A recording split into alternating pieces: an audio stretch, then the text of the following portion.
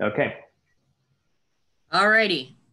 So it is now 7:04 and we're going into open session, item 4.0. And we begin with aid the flag salute. So pledge allegiance to the flag of the United States and to the republic for which it stands, one nation, under God, indivisible, with liberty and justice for all. B will go on to roll call. And uh, Board Member Arianis, Present.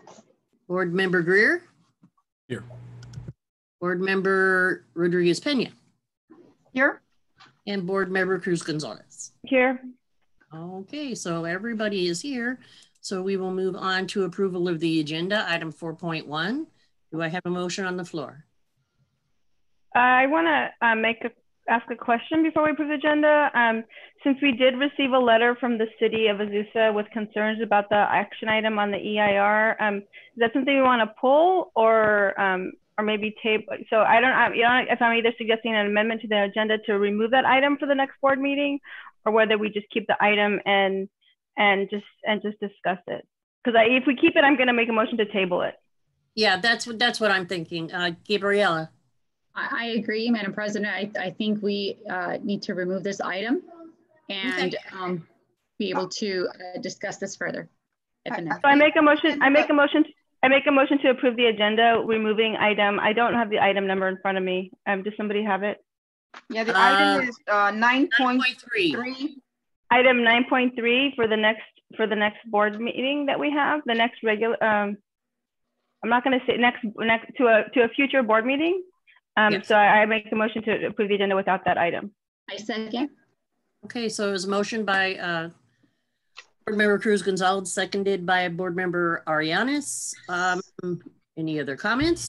Yeah, maybe just discussion. Uh, so we can we can take that route, and, and I have similar feelings as well. But I, but I think that um, having time to to even discuss aspects of it may be may be helpful. Um, I, I think I'm I'm landing in the same boat as, as everyone else. But um, Mhm. so I, I yeah I'm not I'm not sure. I I would be in favor of still discussing it since it's on the agenda. So I'm just, uh, so since we don't have legal counsel here, and I'm not really sure what the implications, we don't deal with EIRs on a regular basis, and there's certain legal steps you take. I just don't want to put an agenda item um, when we don't have legal counsel giving us advice on what, how that impacts the timeline that we currently have. That's the only reason I suggest we remove it, so that that way, uh, and it's just, I mean, I could be wrong, but I'd rather be careful and not be wrong. I agree. Okay. Just as a point of clarification, uh, we can definitely table it, uh, but we do have, uh, we do plan on having legal counsel here. For that agenda item? Correct, Today? correct. Oh, okay, well then I'll, so then, um, I'll, I'll, I'll remove my amendment for now, um, so that we can just keep it on the agenda item for discussion. Gabby, are you okay with that? If we keep it on the agenda? I was Okay. actually going to ask for legal counsel to be present, so So- Okay, So can I, so would that, does that mean, uh, would you change the action and, and have it for info or? Um, h- how does that work? I think we can, we can make that decision at that agenda Yeah. item. I agree. So I make a motion to approve the agenda as is. okay, motion by, and second by Board Member Ariana. And we'll go ahead and vote. Um, let's see. Oh, gosh. Um, I can't. It logged me out. Okay, because we don't. Okay, It logged me out. vote. I have to log back in. okay, I we're gonna hand vote. All righty, five zero for approval of the agenda. Okay, so now we will move on to item 5.0, items from the floor, public on uh, comment on agenda and non-agenda items. This is the opportunity for the public to address the board on non-agenda items. No action can be taken on non-agenda items. Individual speakers may be allowed up to three minutes to address the board agenda on any non-agenda item. Prior to addressing the board, please fill out the request to speak card, public comment blue card, and submit it to the board secretary. And do we have any? So if you would like to comment, please raise your hand. And I believe we have one already. Do we have any? So if you would like to comment, please raise your hand. And I believe we have one already. Do we Have any? So if you would like to comment, please raise your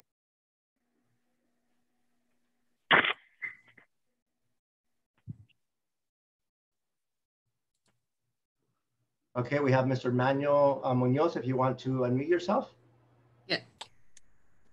Uh, good evening, President and board members of the Azusa Unified School District. On behalf of the City of Azusa, uh, we submitted a letter today in regards to item uh, 9.3 for the resolution of 19-20-56.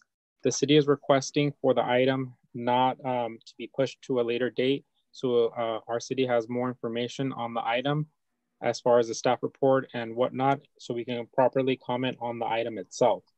Um, also, just knowing the um, the intentions and so forth of um, getting that exemption from the zoning. And that's it for um, the comment. Okay, thank you very much, Manuel, Mr. Munoz. Okay, anybody else? Any other people want to speak? I don't see anyone else. Oh, let's see.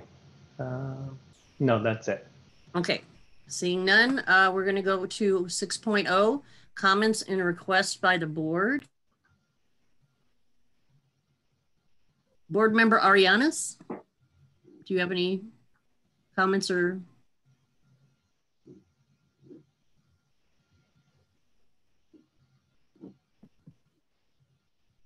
Can you please come back to me? I'm trying to join Yes. the meeting. Thank you. Definitely. Okay, uh, board member Greer. Hey, good good evening, everybody. Um, just just a couple couple of things.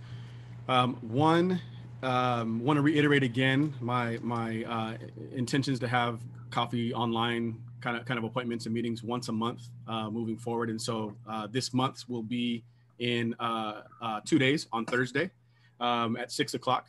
And so I've shared some of that on my um, Facebook uh, page if, if people want to click and there, there's a link to sign up there. Uh, otherwise, feel free to reach out out to me. You can send me an email or, or uh, and whatnot, and I can I can help get you um, uh, the link to, to sign up for that. But that'll be happening this Thursday at six o'clock. And again, um, everyone is invited. And and again, I'll, I'll just throw it out there to um, any any of my colleagues that um, I think it has been extremely beneficial um, up up to this point with just a couple that I've done. And um, if there's any way that I can be of, of, of assistance, if, if you'd like to to, to do um, one of your own, I, I'd be more than more than happy to help show you what I've done, and, and, and you have the opportunity to, to build upon that. Um, only other thing that I want to uh, address and talk about is, um, so we're we're all aware, and, and um, Xilonin, you you made mention of this last last uh, week at our last board meeting. We're we're all well aware of of um, the the attention that has has been drawn to um, like racial injustice um, and, and and you know and how how this has played out in, in our country and and and and even you know the kind of the, the impetus for a lot of that attention was the the killing of George Floyd and um, I, know that we received an email from from a, a, a very impassioned student who shared you know some some of her thoughts and her reflections you know on, on that. And and so I, I guess I just want to comment on it on it briefly to say that um, first of all, I'm, I'm, I'm, grateful to see the um, like like the, the passion and, and folks who are who are, are, are recognizing a need to look at this. And, and for people that sit at tables like we do um, where we can make decisions um, to to ensure that that we're, we're minimizing and, and if not entirely eliminating you know some of those injustices and bias, biases that happen you know in, in our areas of, of supervision and, and, and oversight and so um, I know that that was requested, uh, Xilonin, uh, to, that we talk about it at this particular uh, meeting, and I, I, don't see that on the the agenda. Um, but I would, I, I just want to co comment publicly and second that that that's uh, not even one conversation. That's probably a series of conversations that that we would um, need to have um, to to make it clear where, where we stand. I I'll share just for myself personally. Um, somebody who has firsthand experiences with you know with with, with some of these uh, kinds of things and issues. Um, I uh, I'm used to a lot of times I'm used to being that guy who talks about those things. Um, and, and when I bring those things up, people tend not to be surprised that I'm talking about those those things. And that's kind of a a, a, a mantle and a burden that I've willingly carried. Um, and and so I'm I'm I'm just grateful um, to see that there are are other people who are recognizing that this is not um, an issue for one segment of the population, but that this is this is uh, an, an issue and thing you know something for us all to look at um, as a district, as a community, um, as, as, a, as a nation. Um, and so uh, just want to want to reiterate that and, and communicate that forward publicly. And, and can we go ahead and make sure we get that on the agenda, Arturo? All right, thank you. Uh, board member Arianas. Good evening, everyone. Thank you for coming to our Azusa Unified School District meeting. Um, now we're in summer session and um, I want to thank the teachers, administrators, and uh, and staff at the district for, I know the year's not over, but we're now in summer session. So thank you for communicating when parents can come and uh, get their meals, which is on Wednesdays, correct? From 8.30 to 10.30, is that correct? Okay, uh, just wanna throw that out there. And, um, and I also wanted to, to uh, thank Adrian, um, first of all, for uh, uh, speaking and sharing your, um, you know, uh, about meeting with, with uh, having coffee with a school board member. Um, I actually would like to do one, um, and I'm looking to do one in July. Um, I still don't have a date yet. I, I, have to check my calendar and make sure that um, I'm able to do it. And a, um, I so I'm throwing it out there. As soon as I have a date, I will go ahead and share it with the community and with our board. Um, and um, I also wanted to thank Xilonin for bringing um, uh, just uh, the conversation of us speaking about, uh, you know, the racial inequalities. And also what I would like to do is, um, if possible, uh, talk about ethnic studies. Um, I think that's something that we have not, as a board, you know, uh, have brought up to the table, and we have not been able to bring a resolution. Um, we are one of the districts that does not have a resolution in California, and I would like to go ahead and have that discussion publicly and um, and bring that to our school district to have a resolution. So, uh, Madam President, if we can go ahead and have that discussion as well, um, that would. That be, sounds fantastic. Thank you. Mm -hmm. uh, Board Member Rodriguez Pena.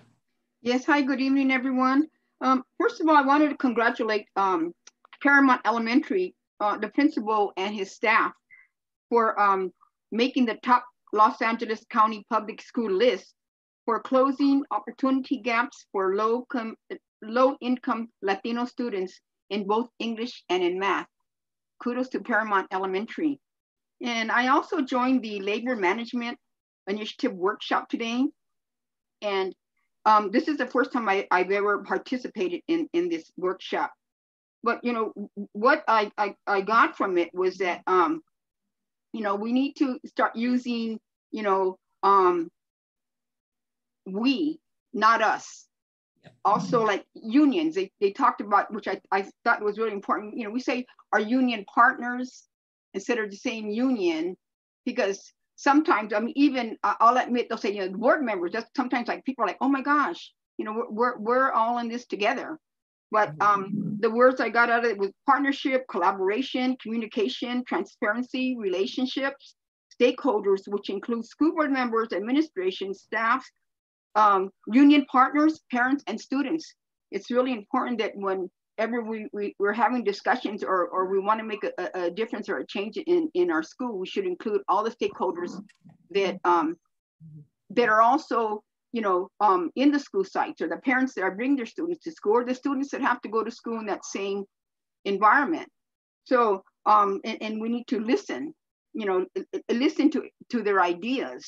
And, and I'm proud to say though, as a unified school district, you know, we are we do use these models, but I think we need to continue it and you know even be even stronger on it. And, and that's kind of what I I'm, I'm excited to go to part two tomorrow. But this is one that I did go to.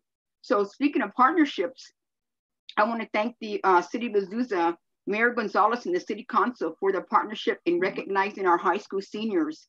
How important that was for our high school seniors to be recognized with yard signs, banners. Um, they had their um, with their names in front of the city hall where they able to see them highlighted. And um, also um, um, Mayor Gonzalez and the city council on the cable channel, they they they thanked the students or, or, or they spoke uh, on graduation. And uh, last, just last week, they allowed three high school students to go and speak up there. And the, the, the young, the three young ladies did a fabulous job. But I, I want to thank back to partnerships that we have that partnership that we're working together. Thank you. Hey, Board Member Cruz Gonzalez. Thank you. Um, I just have a couple things. Um, I do want to say I didn't attend the Labor Management Institute, but I want to say I really appreciate that um, that all of our all of our bargaining units, so the teachers, our adult ed, and classified, all all went with our district staff. I think it's a very important first step um, I really believe collaboration is the key to improving student outcomes and having all of us keep our focus on students and student needs and student outcomes, I think makes us all stronger and thinking about it from that perspective. So I think I, am really glad that we, that some of that you were able to attend and we, and that a board member was able to attend. And I hope that as we, as they, we move forward, we find opportunities to stay connected with that because I think that's really important training for us um, and a space for us to do some planning and thinking. So thank you for that. Um, and the, uh, I think connected to that because I think you cannot have hard conversations without built built with trusted relationships um, and collaboration. And so I, I want to say I appreciate um, Adrian and Gabriela for for echoing and or for you know also saying that you want to talk about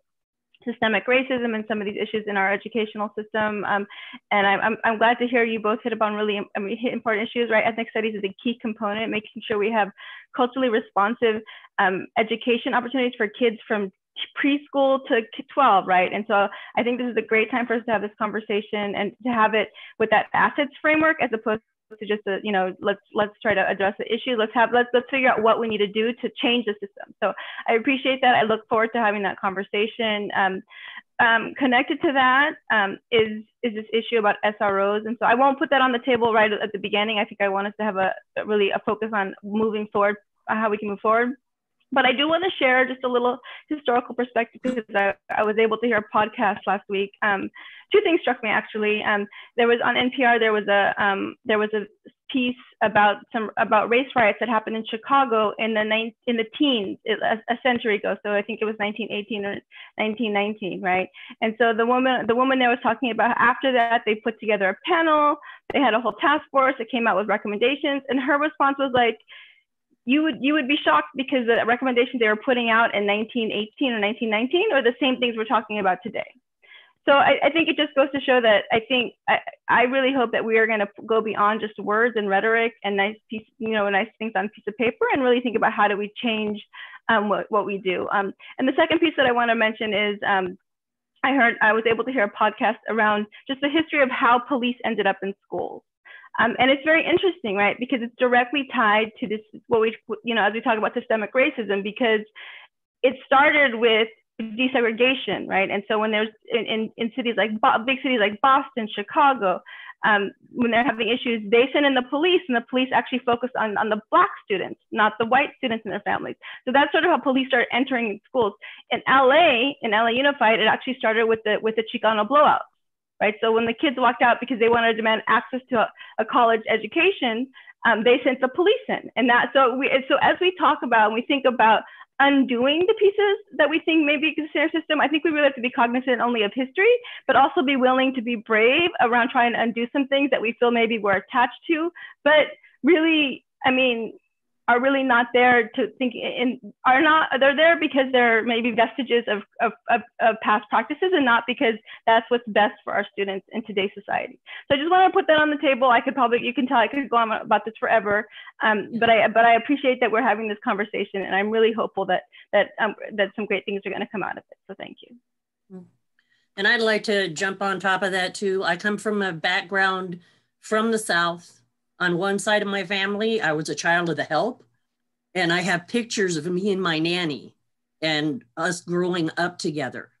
And I always wondered when I was older why she paid so much attention to me. And once I saw the history of it, I understood. And then on my father's side, they worked with the migrant farmers out in uh, Corona in the fields. And so they were for the Okies. And so I have an understanding from a different perspective, but I agree that this does need, I mean, we've gone through it so many times in the 60s, in the 90s. I got pulled over for giving a black friend a ride home from work because his wife needed to borrow the car. They pulled him out of my car, roughed him up, and asked me if my husband knew I had a black man in my car. And so these kind of instances still happening is ridiculous. So I'm on board with all this. And um, I would like to make, moving on to something else, uh, making an announcement since we already did the thing with the elections and we will be having elections in November. I will not be running. Uh, my grandchildren have decided they want their grandmother. When I first started, I had two grandchildren, four kids. Now I have seven grandchildren, and everybody has spouses, and they, they need my time. So it has been wonderful working with all of you. And I see a dynamic that's growing and improving this school board. So let's hopefully we can continue to do so. But I will be in the sidelines. So, uh, okay, we will go ahead and move on. Uh, now we are at comments 7.0, comments and reports from the cabinet and superintendent. Comments, yeah, and report with the cabinet and superintendent. And following tradition, I will start. Hi, I'm Madam President, um, Board of Education, Cabinet, Community. Um, it's an honor to be here um, as a as your HR person. Um, uh, Jerry, I want to start off by congratulating you. I know it was a big announcement. Um, I want to express my appreciation for your work as a board member. Um, it's been impactful. Um, I also want to uh, share out regarding um, the labor management uh, initiative. Um, I participated for the first time in that uh, summit. I started today and it continues through tomorrow. Um, it is a partnership where we had all our labor partners present, uh, representatives from AEA, um, AFA, and CSEA, along with members from management, and we had uh, board members also present, uh, board members uh, uh, Rodriguez Pena and board member uh, Arianes was also present. So I want to thank you all. Um, and it's important to stress the goals of the summit, which is to strengthen the relationship between um, management and um, labor. Uh, it's incredibly important, especially as we enter these uncertain times um, around uh, the reopening of schools. Um, we live in, in these really challenging times. And so really in order for us to move forward, it's important for us to be working together and strengthening that, strengthening that relationship. Um, there was a couple of slides that were shared early on that really resonated with me. Um, and um, I look forward to continuing that work with each of our partners uh, collectively and also individually um, as we as we work to strengthen the relationship. Um, I also want to share that um, board member uh, Cruz Gonzalez, sure she wasn't there, uh, to participate, but she was there um, and uh, we were graced by her presence as she represented our um, the CSBA organization as the president of CSBA. So um, where I sit, it's very, it's, it's, it's, I'm very proud to be able to associate with with just some awesome um, um, superstars that are at the state level. Just I mean, I mean carrying that that flag and really uh, advocating for students and school districts. So thank you for your, your work in, in that regard. Um, and, and with that, I, um, I again want to end by saying that I appreciate the work that we're doing. Um, it's, it's been quite a bit of, uh, of work in these, these times, but um, if one thing uh, is certain, we've come together as a as a team um, to really to really kind of uh, address these really difficult um, issues that we have in front of us. So thank you. All right, I will go next. So, good evening, board. I uh, wanted to share that this will be my last board meeting. And I truly wanted to thank you as a board for entrusting in me uh, these last three years as your CBO and welcoming me to the district five years ago. You you did put a lot of trust to put me in this position, and I hope that um, I've done everything that that could make you proud of transitioning the the business department into a well-running machine. Um, it would not have been possible without the great leadership of Dr. Kaminski. She believed in me. She um, pushed me to be better. Um, and so I, I owe her a, a, debt of gratitude for truly believing in me and supporting me and um, making me uh, the CBO that I am today. Um, and I've, I've had an amazing team. Uh, I, I've said it a thousand times, probably not in this public forum, but our cabinet team truly has an open relationship where we can really address any issue. And that is a rarity. Um, it's something that I look forward to every single day in, in mm-hmm. solving the issues, making Azusa better for our kids and our families, making our schools more desirable every single day. Um, but I did not do it alone. Um, I worked closely with our labor partners, and I'm going to call you guys by name, but Meg and Yvonne, I, I truly owe you a debt of gratitude for how much trust you put into me and um, believing in me that, that we could work together to make things work for our group, for our district, and for our kids. Um, you guys were amazing partners in this, and we've overcome so many obstacles over the last three years. And our collaboration has truly made the district better. Um, and and my, my directors that really do the, the real work. Um, they, they tell me where to be and what to do. so truly appreciate them. You know, Megna um, coming in right with me. She is an amazing fiscal director. She has great potential. I, I believe one day she will be an amazing CBO. Um, tonight, for example, we're presenting a budget based off of numbers that we were able to pull together from um, snippets of information that have come out piecemeal. Um, that is unheard of that you could put together a budget in a matter of hours. Um, to Darren, who I don't know if you know, but the, the guy works 24 7. He works seven days a week and he never goes home. Um, the district is blessed to have him, and I was blessed to have him on my team.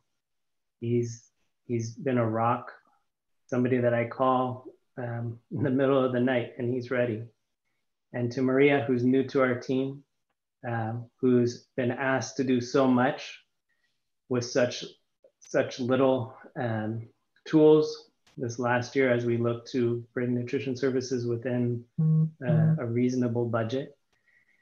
Um, I know we've asked a ton of you, and I really appreciate all you've done to implement um, the plans that we had laid out and to, to be able to work with your staff to figure out new ways of becoming more efficient and reinventing the department.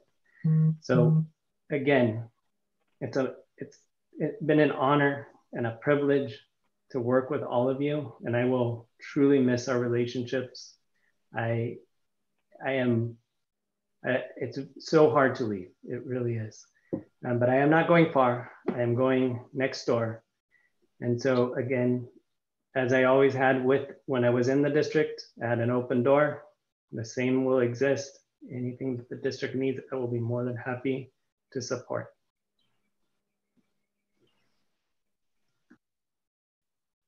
Thank you.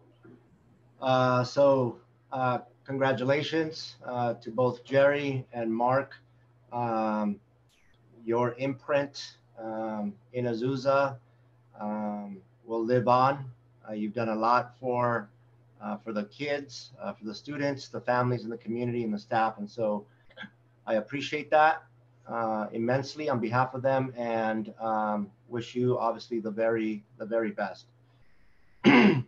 Um, as you might know, we are in full swing uh, with summer program. Uh, we just launched, and so we're really excited about that.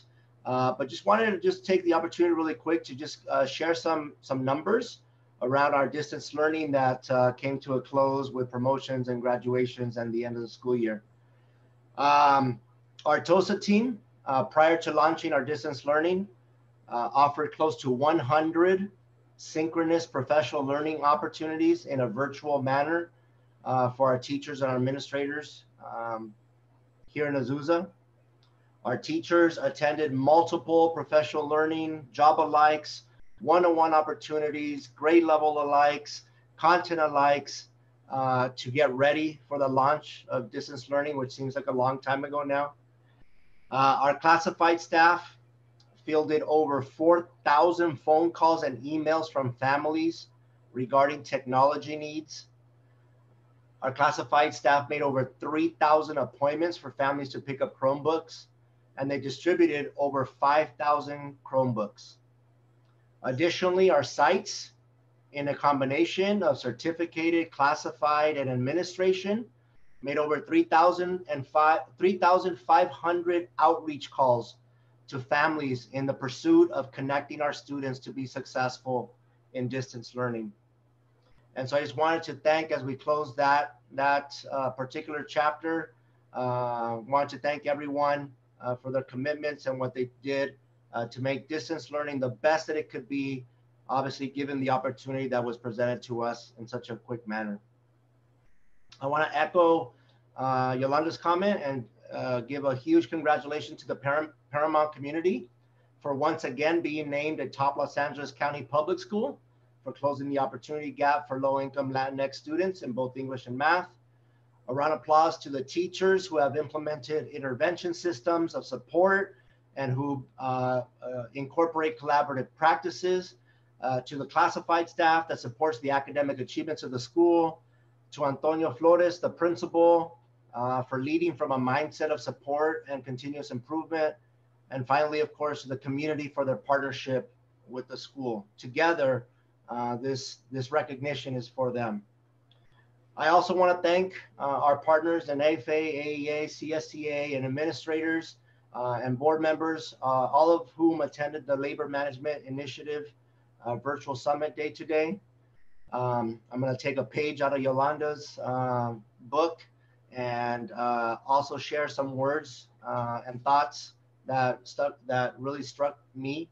Uh, this whole idea of partnerships, of collaborative tools, of learning, of team building, and of change, I think uh, was a great way to launch uh, today. And so I, I just think what a grand opportunity to be able to experience this together as a team. And I look forward uh, to the outcomes from this process. Um, and then to put a cherry on the top, uh, Jorge shared that um, our very own Xilonin uh, was on a video. And I want to thank her for on the video giving a shout out to Azusa. So uh, thank you so much uh, for your presence and your work in that space uh, as well. Thank you.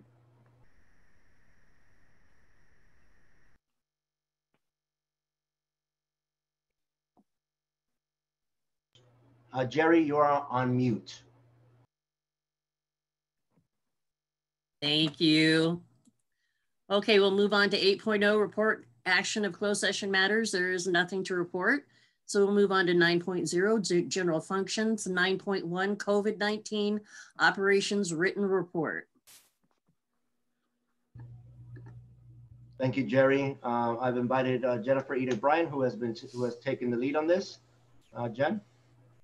Hi, hello everybody. Good evening, uh, President Bibles Vogel, board members, uh, and public as well as they join us. I'm excited to be here tonight. Um, on your agenda tonight for your action is the COVID-19 operations written report. And I'd like to provide you and our community a little bit of information about this document um, before you take your vote. So uh, a little over a month ago, uh, our governor issued Executive Order N5620. And what this executive order did was it uh, postponed the LCAP. This is normally the time when we bring the LCAP to you for approval. Um, and, but it postponed that uh, the 2021 LCAP to December 15th and then required districts across the state to develop a COVID-19 operations written report. And this report was to cover all of the activities that went on during uh, the COVID-19 closures of schools this spring, cover some designated specific areas. It is a, a an item that is to be submitted to the board for approval and then submitted July 1st along with our district budget to the county. The audience for this document is really our community. Um, and it is then supposed to be and will be shared publicly um, in various ways. One will be our, our website. Um, and then uh, some other ways, which I'll tell you about in a minute. One of the, the other components I wanna tell you about as we, we put this report together is that we really had input from our PAC Plus. During the school closures, our PAC Plus continued to meet and support uh, the district in decision making. And one of those uh, decisions was around this document. They provided some uh, really good input and feedback, which led to changes in the draft um, and then provided great ideas about how publicly to share this. They were really excited about making sure um, stakeholders in the Azusa community heard about what happened as our schools went through this spring pandemic and, and what we did. And so they came up with some great ideas that we're going to be using to publicly share this document. So I want to tell you just a, a, little bit about the areas that are covered in it. You do have copies attached to your board agenda item, and, and those copies are in English and Spanish. Um, there are some main areas, as I mentioned, that were to be covered. And one was what, what were the major changes to programs and that occurred during, uh, during the COVID-19 closures and, and what impacts did they have on our students and families and staff. And so in the document, you'll read about uh, some of the professional learning. Uh, Arturo just mentioned some of the great opportunities to help our teachers who are working very hard to to, to implement the distance, distance learning block schedule plan and to use technology and through Team TOSA and all of their outreach and opportunities, we're able to provide a lot of virtual distant learning, collaboration time, PLC time. We had a huge change and uptick in our communications department. The superintendent sent community updates twice a week, tons of outreach with uh, phone, email, texting for students, as you heard from, from the district level, from the school levels, teachers, administrators, reaching out and supporting families, including our dedicated helpline uh, that was used to support um, students and families as, as they needed support during this time and in implementing distance learning. Um, we had a lot of traffic on our social media and websites. And then finally, we created an end of the year survey to really help us um, gather the experiences of our students and our families and our teachers, and then also gauge their readiness for returning to school when that is possible. We had changes within our testing, as you know, uh, state testing was canceled. AP tests did take place for our, our, AP students, but they were virtual or remote from homes. IB canceled their exams. And, uh, and so we, we did have changes in that area. Our, our counselors continue to support our students who are preparing for college and careers and supporting financial aid applications and all of those things during this time. And they did that virtually. And uh, we continued with our community engagement. Again, I mentioned uh, the PAC Plus met, as did the DLAC, as they helped make decisions. Every site had virtual parent meetings, coffees with the principals, and it was really exciting to see the increase in participation in the uh, coffees with the principals and Cafe Azteca at Azusa High School. Huge increase, which is exciting because it, it also gives us hope for how we might take learnings away from this time and and use them even when we're back in a face-to-face um, uh, face-to-face setting. So we also had to write in the report a little bit about how we delivered high quality distance learning. And we developed our distance learning block schedule plan, which was very structured, had a, a daily schedule for our elementary and secondary students, uh, created collaboration time for teachers and staff, a parent and family connection time, interventions for students and individualized support. Um, it was all aligned to our, our, state standards and used our district uh, approved curriculum and obviously in, included a lot of technology integrate, integration. And for grading, um, as the board recalls, uh, the district took a hold harmless grading policy during this time period. I did promise the PAC Plus that I would mention one thing during this presentation. And, and two, our two parents that represent uh, students with disabilities really uh, were pleased and, and so grateful for the special education teachers who worked so hard to create accommodations and modifications and to support students who uh, who had disabilities with distance learning. And, and so I do want to take a point to honor uh, their requests and, and acknowledge that work that uh, was done for all of our students during this time. We continue to focus on equity and this report asks us to really address how are we looking at our, our highest needs students, our English learners, our foster youth, and our um, low income students. And, and we distributed over 5,000 Chromebooks, as Arturo said, uh, and helped families uh, connect to the internet and in very um, special circumstances where our families were, were in a, a, circumstance when it was that it was almost impossible for them to connect, we were able to provide hotspots um, and, and get students online and, and involved in distance learning. And part of that, as you recall from our last meeting, was with the help of generous community organizations such as the Rotary Club, the 1 Million Project, uh, the Azusa Ministerial Society or Association, who supported our efforts in finding ways to provide internet access to our highest needs families. And uh, during this time, we also distributed uh, school supplies to families halfway through the, the spring closure time. You know, families were running short and lines at stores were long. And so the district was able to distribute school supplies to every family that needed them. Uh, we continue to monitor our English learners and uh, specifically reaching out to every single newcomer, both at the district level and then also at the school level through teachers and administrators. And the same happened for our, um, our foster youth as we really looked at our highest needs students and made sure that um, we were supporting them during this time.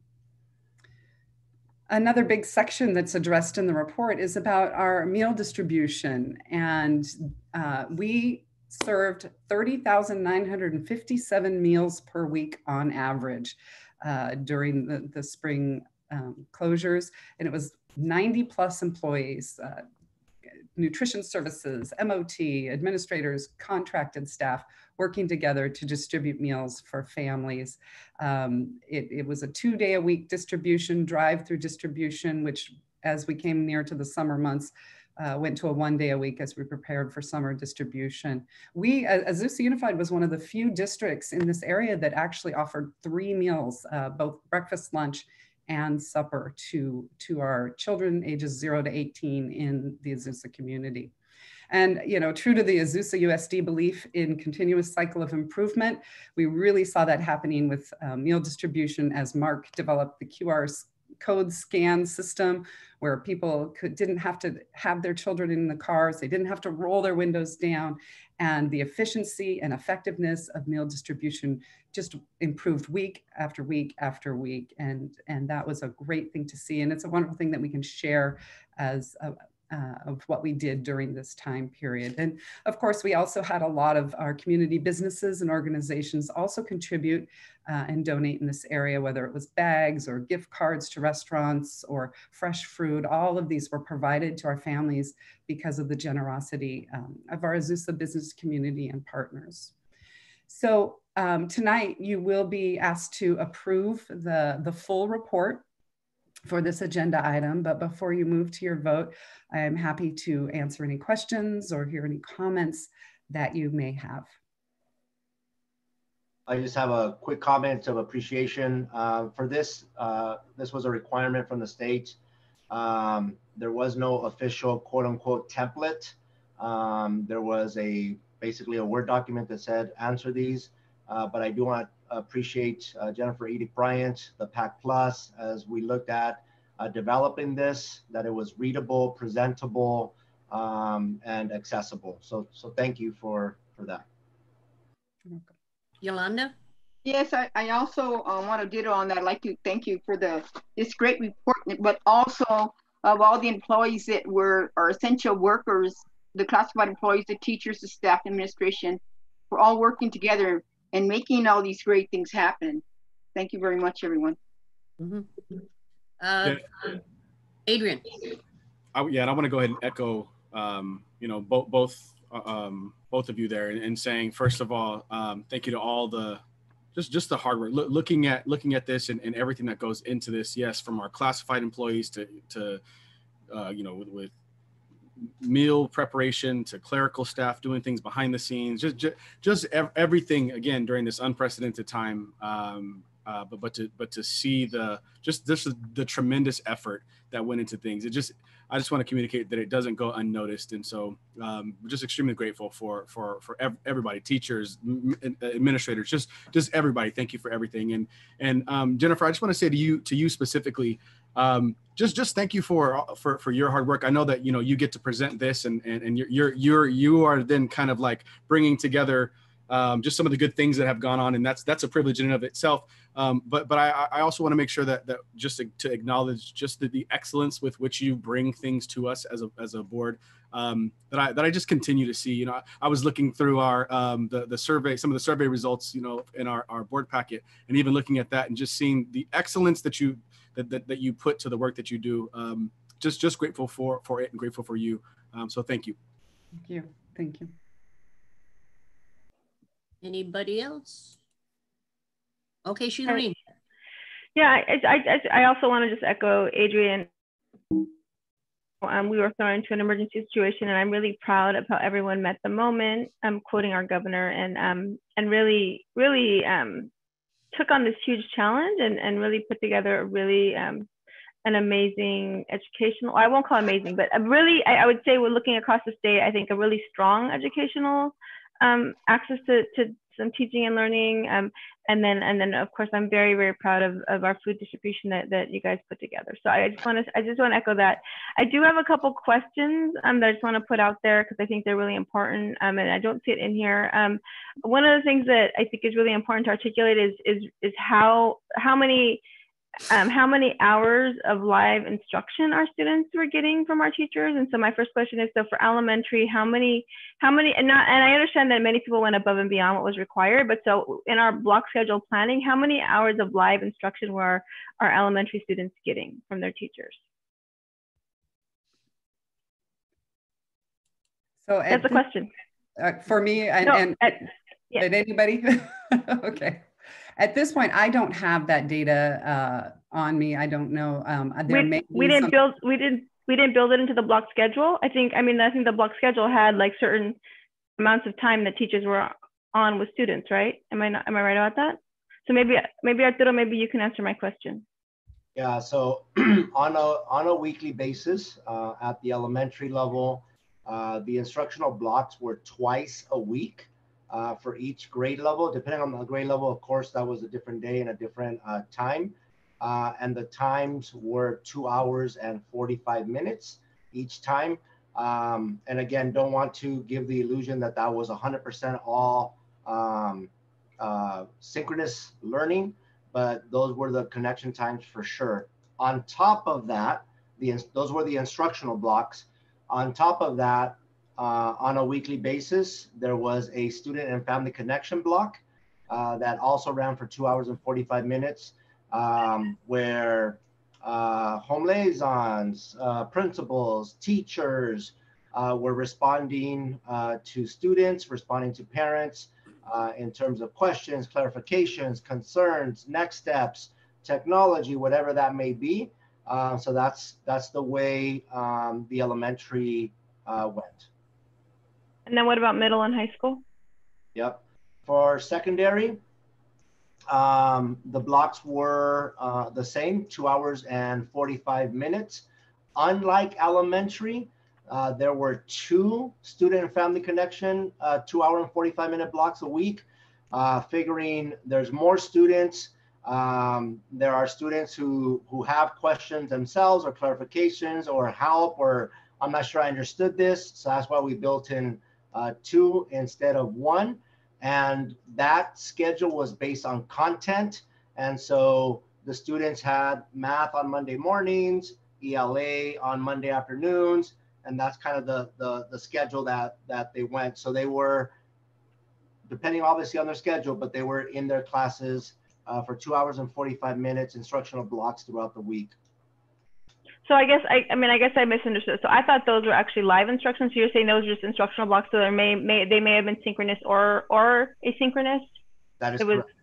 so um all right. Um and then my my other question um is around no so that I mean that was my main question. So I I think I mean and then I know you guys are doing planning internally. I mean I think as we think about the next year and I mean I understand we're going to have to have plans for what happens if this happens again. Um um looking at the CCEE playbook, right, that came out, looking at what Dr. uh, our state board of our state board president, Dr. Linda Darling Hammond, talking about talking about how one to one to four hours of live daily instruction is is would be considered quality distance learning or at least minimum um, that and then knowing that there's recent recent research co- coming out that that shows that that higher income communities were able to make the transition and were able to keep attendance daily we're able to continue with with ongoing instruction um, and and and daily daily instruction much more than what we're talking about.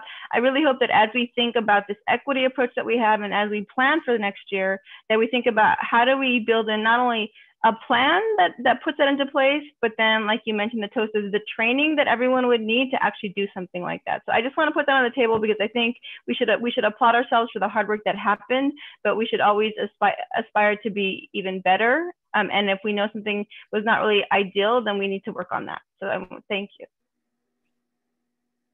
Okay. and excuse me, my allergies. I'd just like to thank everybody for all you did during that because it was, we just jumped off that cliff. And all of a sudden, everything had to be there to catch all the students. And I really appreciate the time and energy and effort it took everybody to get that going. So thank you. I, Madam I wanna- I think Gabriela has her hand up. Yes, Gabriela, I'm sorry. That's okay. Um, thank you, Jennifer, for putting this together. I want to go ahead and um, echo what my colleagues have said, but one of the things that I, um, we, we did, that the, it happened, it was an emergency. We took, we, we stepped into action. Um, the block schedule was, was made. Um, it was a really, um, it, it, we were just made to, to kind of just make decisions right as they came. We don't know what the future held. So I think we pretty much held it together until now we can breathe. Um, looking at this report, I would have to um, just agree. Uh, we can go ahead and look back uh, just to be able to fine tune um, where our weaknesses are and where we can improve with technology, instruction, and, um, and grading. And um, just moving forward in case we do have to go into another lockdown, we can look back to see where um, you know some of the great things that um, did come out of this and also to some of the things where we're perhaps still missing or um, we we need to um, to we, we can take this time again you know to be able to um, bridge that gap uh, to be able to have um, every student in our in our district uh, be able to connect to a device for distance learning um, and um, I, I, like the equity that Xilonin was talking about. I, I, don't think we had 100%. And so that's something to definitely, um, you know, for us to just continue having a conversation about. So thank you, Jennifer. Thank you. Anybody else? Adrian? Yeah, I wanted to add uh, just one one more quick thing. Um, just also in agreement with my colleagues about, uh, you know, we went into this without, you know, by, by surprise, and and I think any one of us would would say that if we were to go back, there's some there are some adjustments that we would make. There there's some some tweaks that, that you know that, that, that we would make, and um, and and and we'll use this learning not only for whatever the fall looks like, but also for you know for you know unfortunately we, we now you know it, it, it's it's on us now to to, to kind of have a plan in place for in case there is a worldwide pandemic and how we would you know respond to that. But that's not something that you know we were necessarily prepared for b- before. And so with that being said yeah it um i'm i'm pleased with with everything that we were able to pull together up uh, you know so, so quickly. But but there um and and now how do how do we even raise that bar even further going into this this next um uh, school year with so many of the unknowns um, and potential you know ways that it plays out. Okay. Alrighty, so now we'll move on to nine point two, Actually, I'm sorry, you'll need to vote on that, please. make a motion. Oh, I'm sorry. Oh, gosh. Yes, thank you. All right, so do we have a motion? I motion to Motion. approve. Uh, Second, Okay. Motion by uh, Board Member Ariana, seconded by Board Member Rodriguez Pena. Any other comments? Okay, let's go ahead and vote on this. Oh my gosh, trying to. Yay.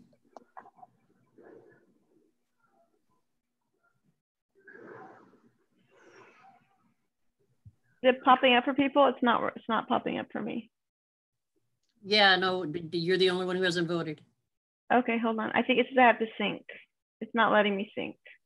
Ah, you know what? All right. I was gonna say, Yeah.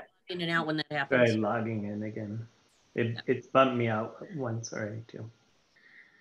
Yeah, we're gonna. It's gonna. It's it's it's stalled. So let's just take a voice vote. I vote yes. Okay. Yes. Okay, I don't see. Adrian, wave your hand.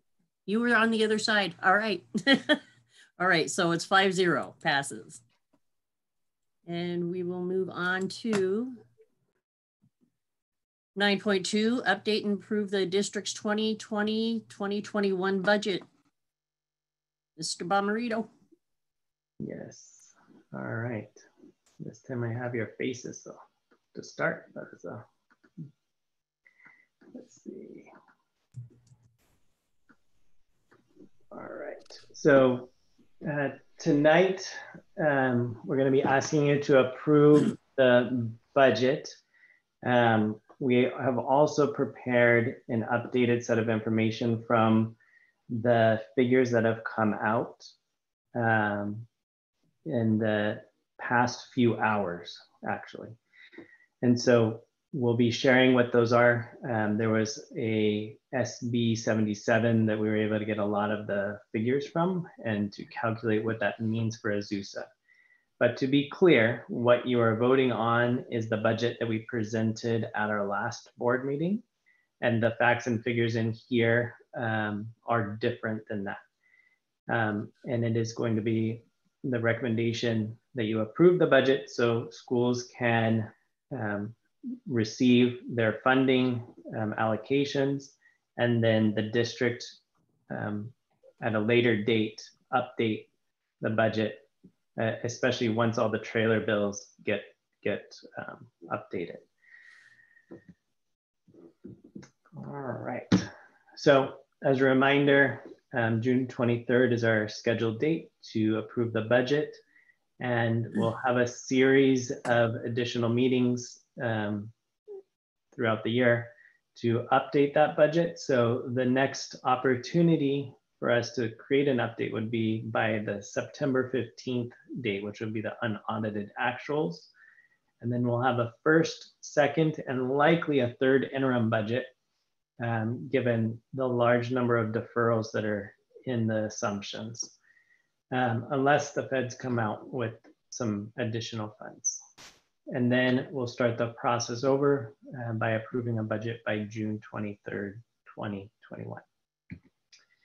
So as a reminder, we had our public hearing on June 16th, and tonight we were um, bringing this to you for approval. Um, and we went over that last time. So these were the facts and figures that we were able to bring together um, from the, the assembly bill and some other, other inside information. So COLA um, that we discussed last time was um, in a, a zero with an effective deficit factor of uh, 7.92 or negative 7.92. And so the budget deal that has been reached between the legislators and the, the governor is to come out with a zero COLA. And so I've made the, that red because that is a number that has changed from the budget. And you can see these numbers have not changed, which was to budget zero as a COLA for the next three years. Um, STRS and PERS did not change in the assumptions.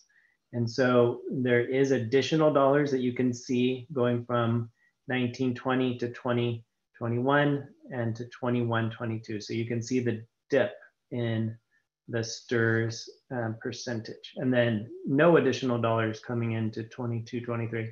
And that's where you see it go back up. PERS, the same thing. Um, it is significantly lower than it was at second interim. Um, but you have to remember at this point, um, you were looking at close to 25% in 21, 22. Um, special ed, um, actually this should be red. It, it was a little bit higher, so that isn't one number that went down, um, but it's still up from what we're receiving right now, uh, dollars per kid.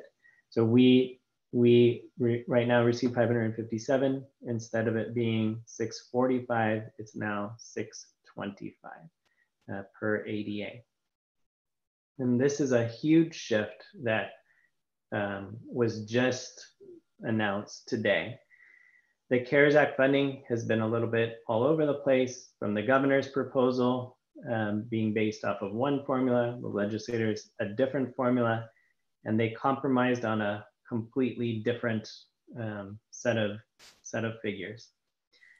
But it is beyond what either one of them had um, put together when we calculated out the governors or the legislators. It's actually more than both of them. So it's $11.3 million in CARES funding, which is something that's going to be essential as we look at the deficits later. Uh, restricted programs. So if you remember, we had some 50% reductions in some of the restricted programs. Others were uh, negative 10%. So to have no change is huge for those programs, for preschool, for um, ASES, for all, all, of our restricted programs to have that zero is, is a, a really, really exciting thing. Um, deferrals. So this is the trigger that we had spoke about at our last meeting. This did not change one month of deferrals for 1920. We will not receive our June apportionment until July. But under this plan, we would not receive nearly 50% of our funding, and we'll give those exact dollars later on. Um, if there is not an economic recovery, we can see more of that um, and so we could be getting close to, you know, a year of dollars not received. So these additional dollars, we need to make sure that we have enough cash to, to pay um, the bills moving forward. And I'm going to turn it over to Meghna to go over the specifics for Azusa. See here. Oh yeah, you're muted.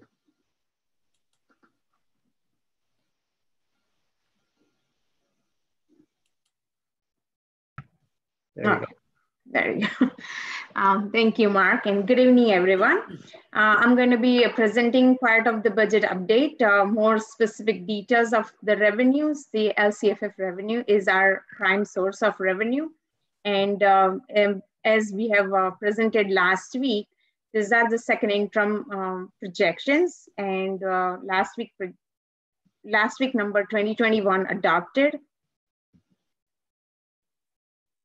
one more, one more. Okay. Uh, so uh, as you can see in the red one, that's what we uh, projected based on the May revised governor's budget.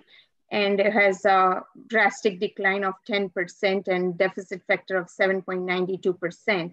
But the, with the budget deal that they reached, uh, we got little information that now there is no reduction in the funding, but we are not gonna receive any COLA. So that looks like for our district, we are going to get more money, less than what we projected at second interim, but it's going to be more than what we projected as uh, ad adopted budget. So it looks like we are going to receive 80, 85 million in 2021 year and uh, 80.3 and so on for the out, out three years. Um, so the difference between second interim and uh, um, budget deal is really, really lower than what was we were estimated before. And looking at the detailed numbers in the next slide. so as we you know looked at this numbers last week as well but there was a huge difference where we looked at last uh, week uh, the uh, relation between the uh, funding is based on enrollment ADA and it's based on the funding per ADA, how much we received per ADA each year. The last year we looked at the 1920 amount, 11,553. For 2021, it was drastically declining, almost like $900, like 10,500. But now it went back up about 11,576 and on an average about 11,500 out two years as well as it's a 0% COLA and just a uh, slight increase based on the class size reduction augmentation. Uh, and as you can see in budget deal 2021, the numbers or revenue is going to be increasing way higher than what we have budgeted in our uh, uh, adopted budget. It's going to be almost 6.7 million higher than what we have budgeted in 2021 and uh, almost 6 uh, more in each year thereafter. So that's a good news for our district that we are going to be, you know, uh, receiving more money as far as uh, the uh, deal that they reach. And we are going to see more in detail in the next slide. LCFF supplemental and hey, concentration. Meg, real, real quick, going Yes. back to going back to the last one, just to be clear, I'm, I'm looking at the at, at the presentation that's online, and the numbers are different. So is but the the ones on that you have that you're displaying that is the updated and current one, but the ones number slide 17 on online is is incorrect. Right.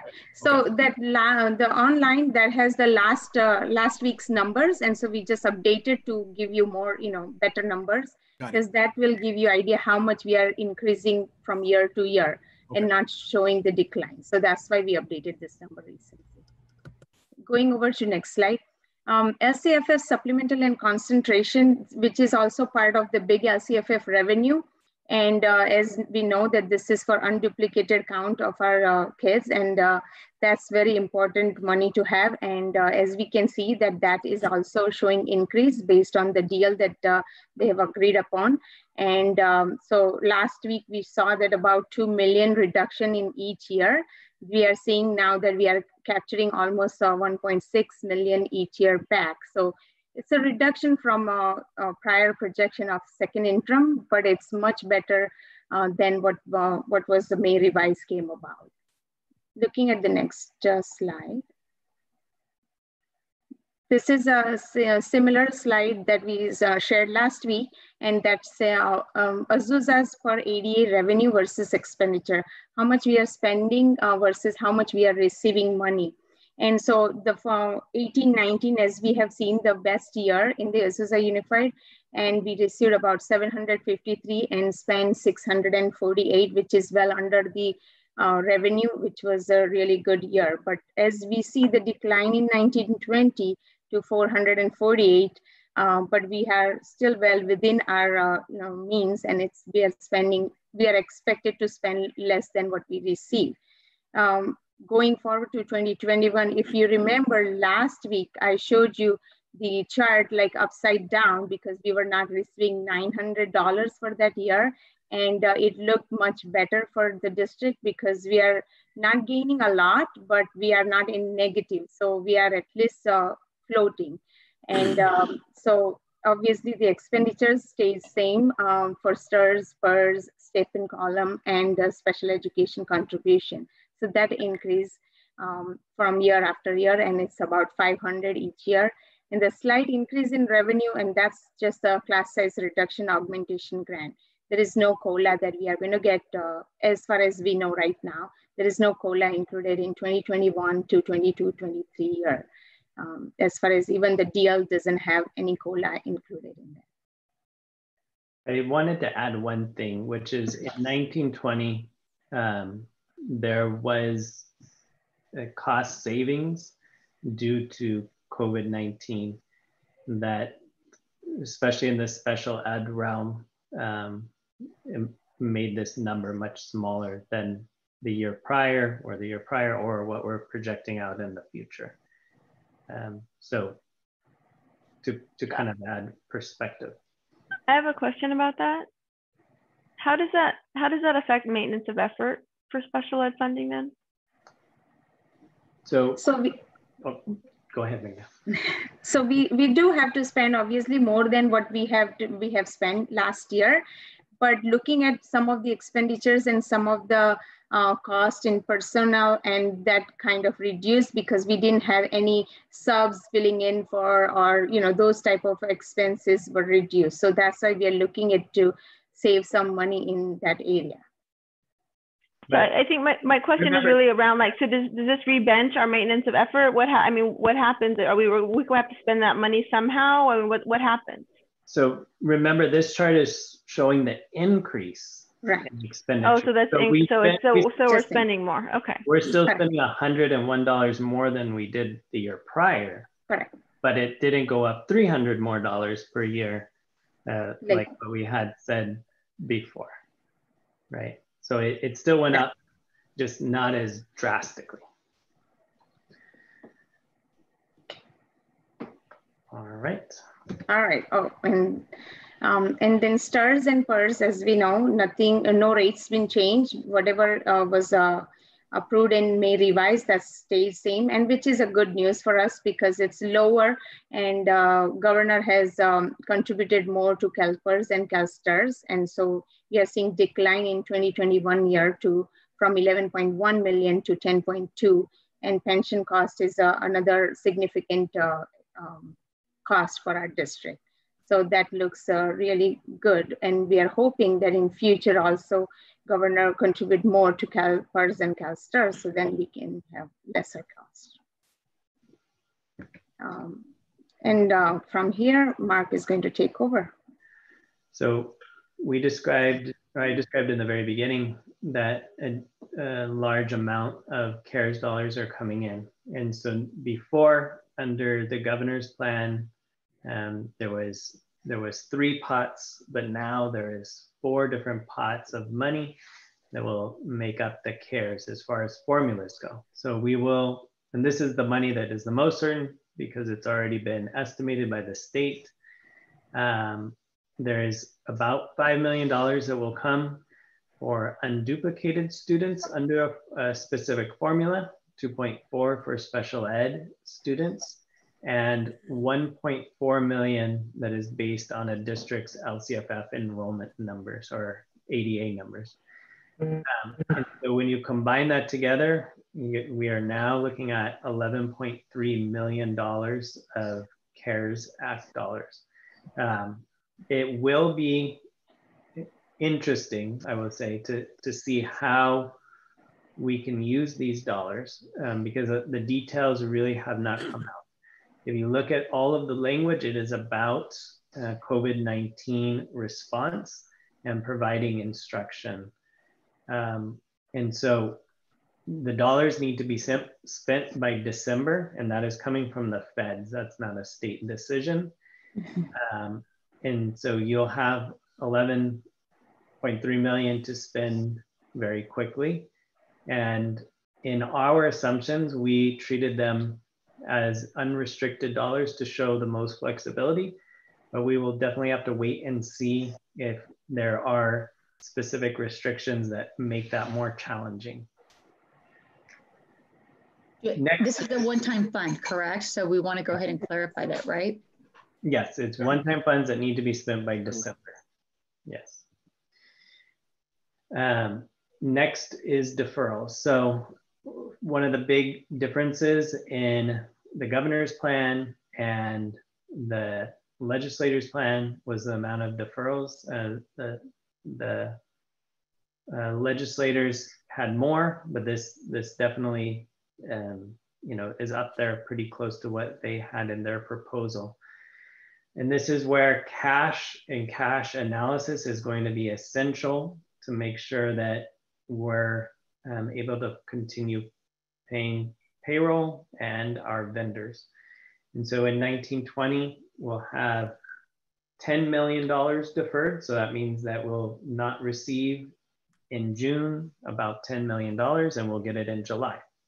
That was not that big of a deal. We can, we can manage that. Um, but in 2021, we'll have five months worth of deferral. So essentially we'll get paid for half of the year.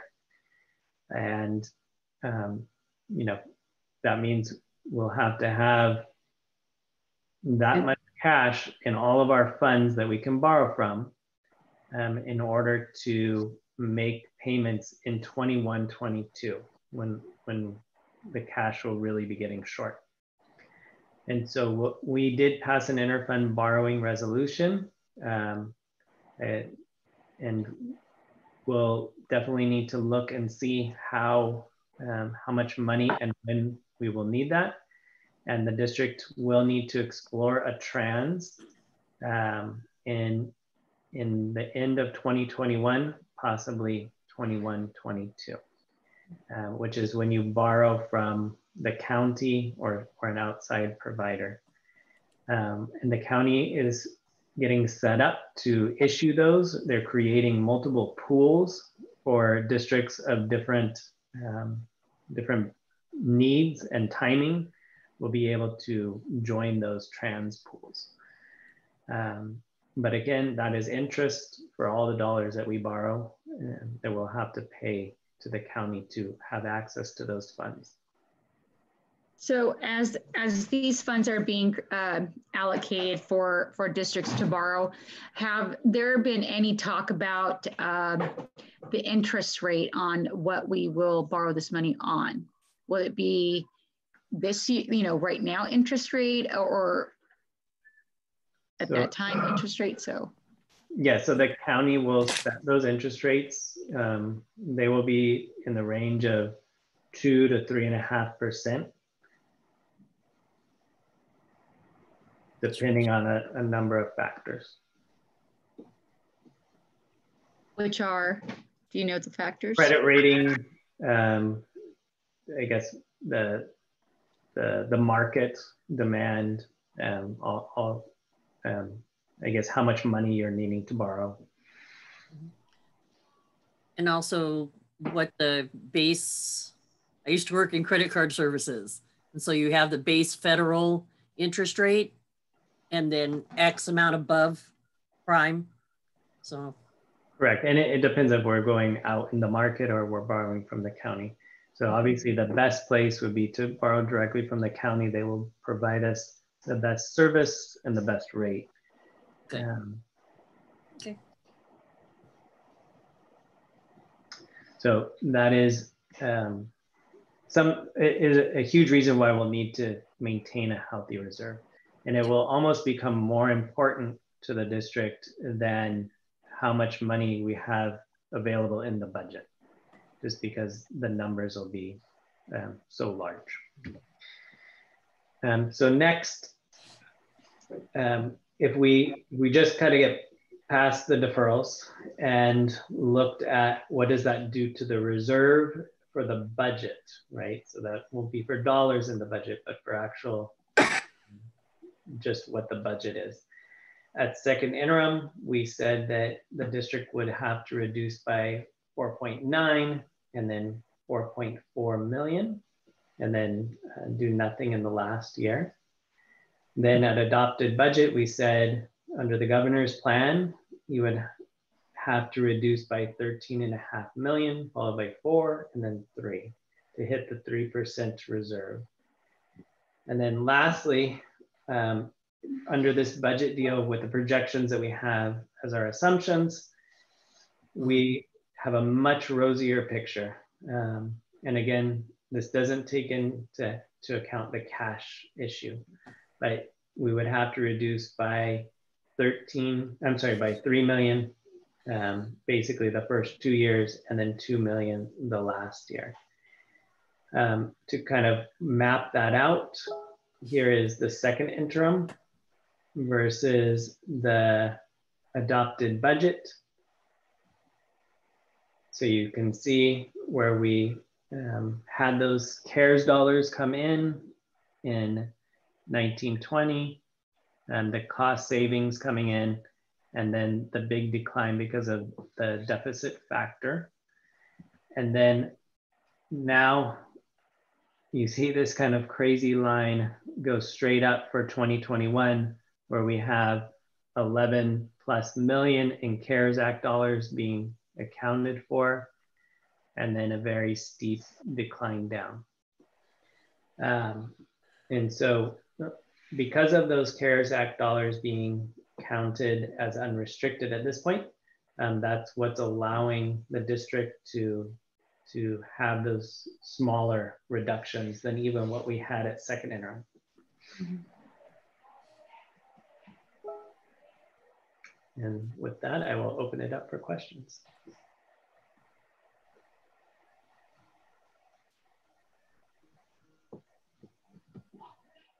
No questions?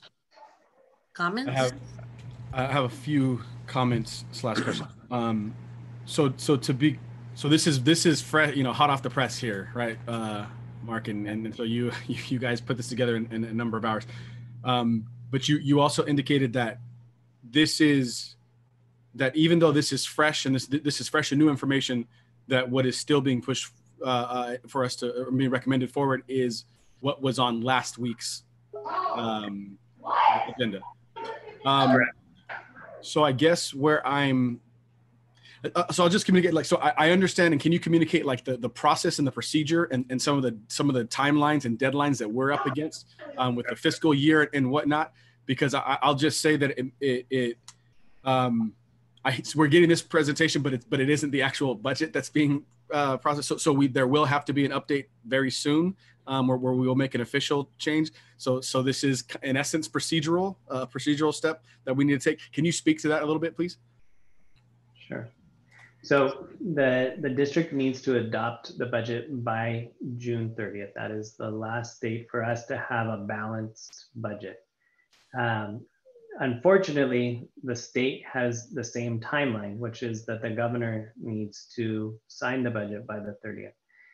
And the because of everything going on, those timelines have been stretched. Um, the legislators approved their budget on their back very last day, which was the 15th.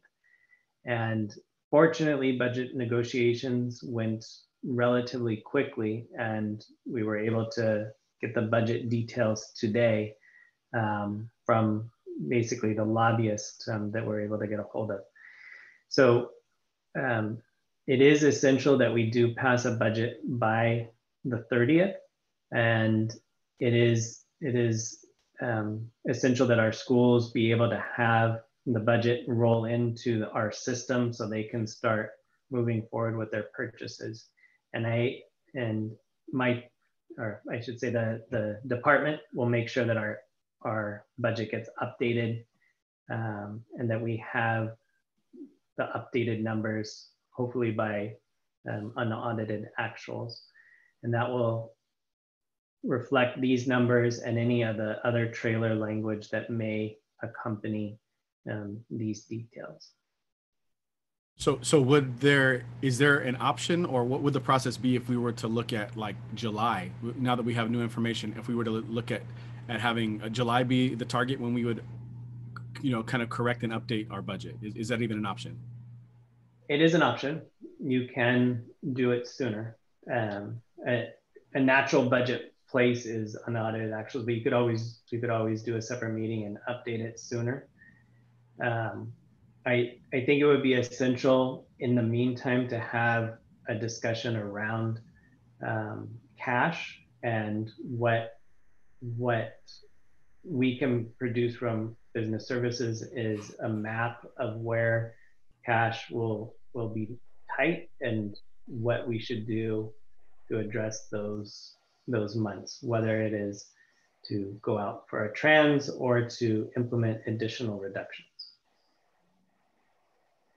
Okay, yeah, can can we maybe um I, so I don't know I don't know who we so I know Mark you're you won't you won't be sitting in the seat so I don't, you know I, I don't know Arturo if you're able to, to speak to that and some of the process I'm I'm I'm tempted to I'm I'm tempted to to not vote yes on on this because I because I know that it's not the actual budget, but I understand that the, the procedural process of it and how we need to move forward. Um, I I would like, and I'd love to hear what colleagues have to, have to say, and Arturo, if you can speak into it as well. Um, if we can sooner rather than later make the updates, um, if we are going to take the step today, um, and not wait until um, that that later date to make uh, uh, you know some of those changes. Can I can I say something? Mm -hmm. Or I'll wait. I'll, I'll wait till Arturo answers. I'm sorry. Adrian asked a question, so I'll wait. Yeah, well, definitely. excuse me. Um, so yes, we're we are in in transition period, uh, as Mark spoke about uh, at the beginning. Um, again, a huge uh, applause for for for taking um, what was out there uh, to build right. construct this.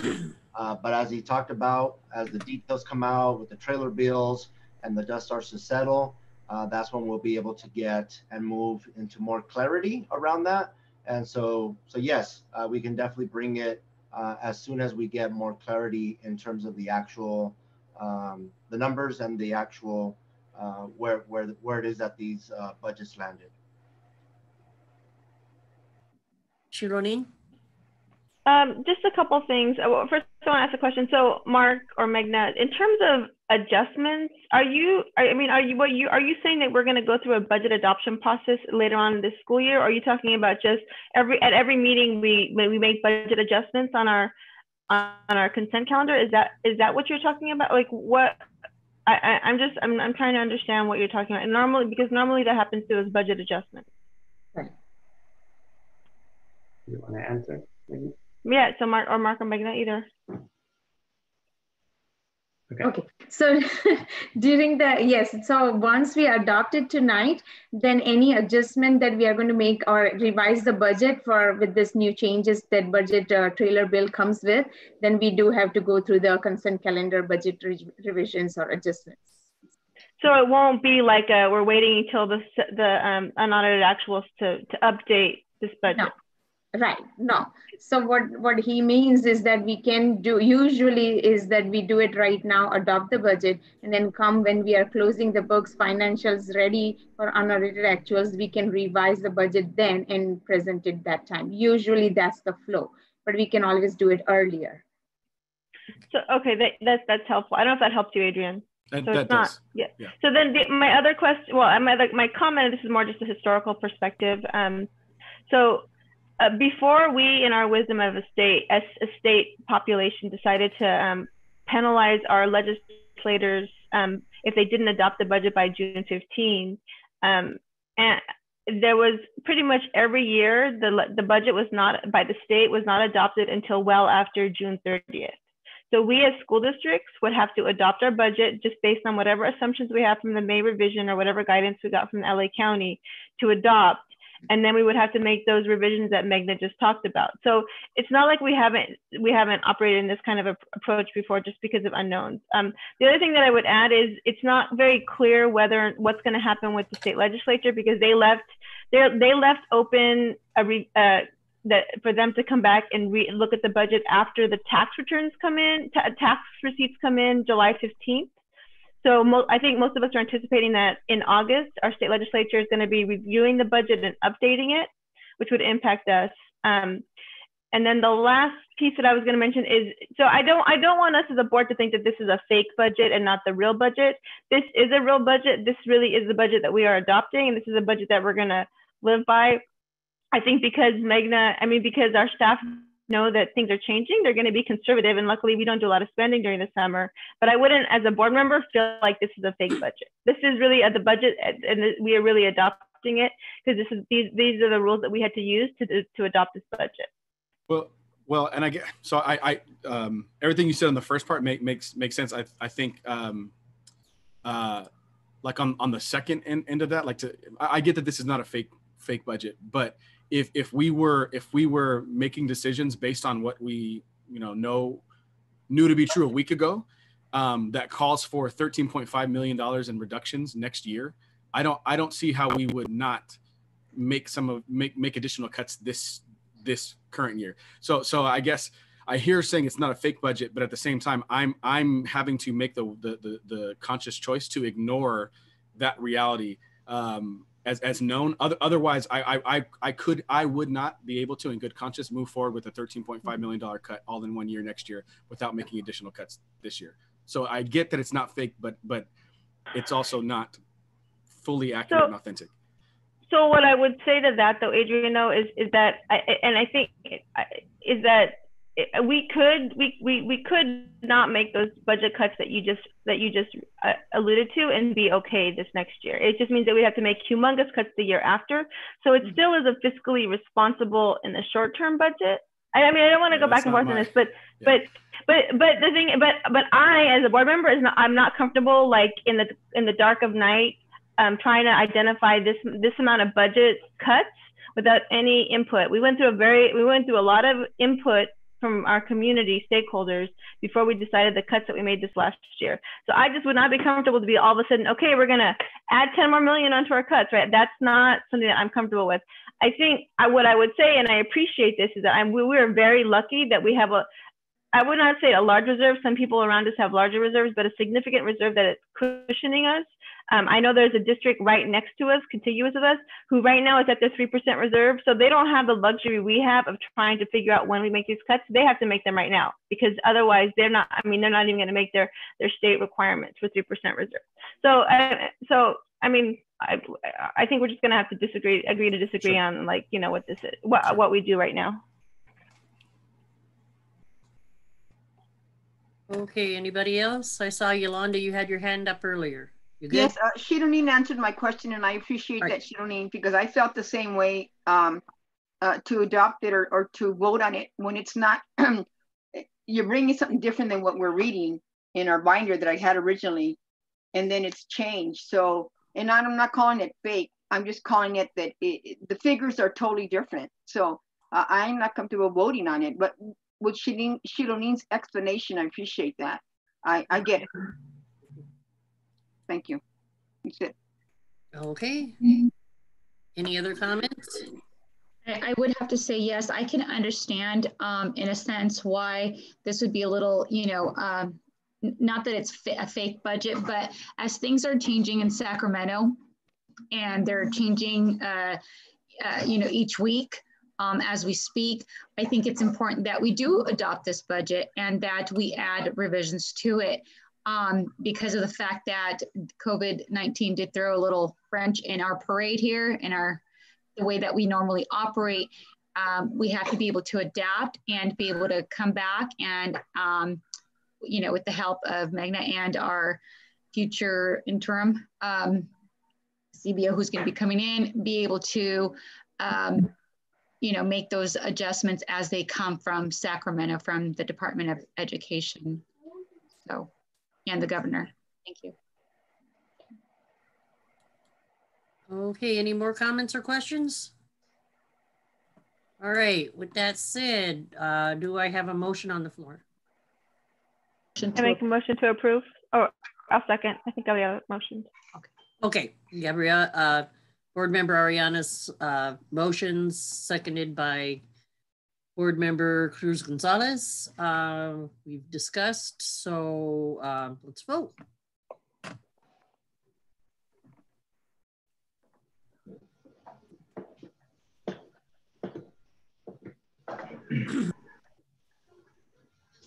And it passes five zero. And now we will move on to uh, 9.3. Approve resolution 1920-56 exempting the old schoolhouse project from city of Azusa zoning. Let's. Do I have a motion? Let's try. Uh, I mean, so I, I would like to motion that we, you know, table, table in essence, but I'd like to discuss it still. have a discussion. Okay, You're, you're muted, Sheila. Can we just discuss it? We don't, we, c- I mean, we don't have, I mean, we can discuss it without taking Okay. action first. all right, sounds good. I- I would I- like, uh, uh, Mr. Ortega, Mr. Ortega, if you can please explain this resolution, please. Sure. Uh, Just as a FYI, uh, we have uh, invited Terry Tao uh, here as well to, uh, to take questions. Uh, But in essence, um, this resolution um, is to exempt uh, the old schoolhouse project uh, from us, from city uh, Azusa zoning.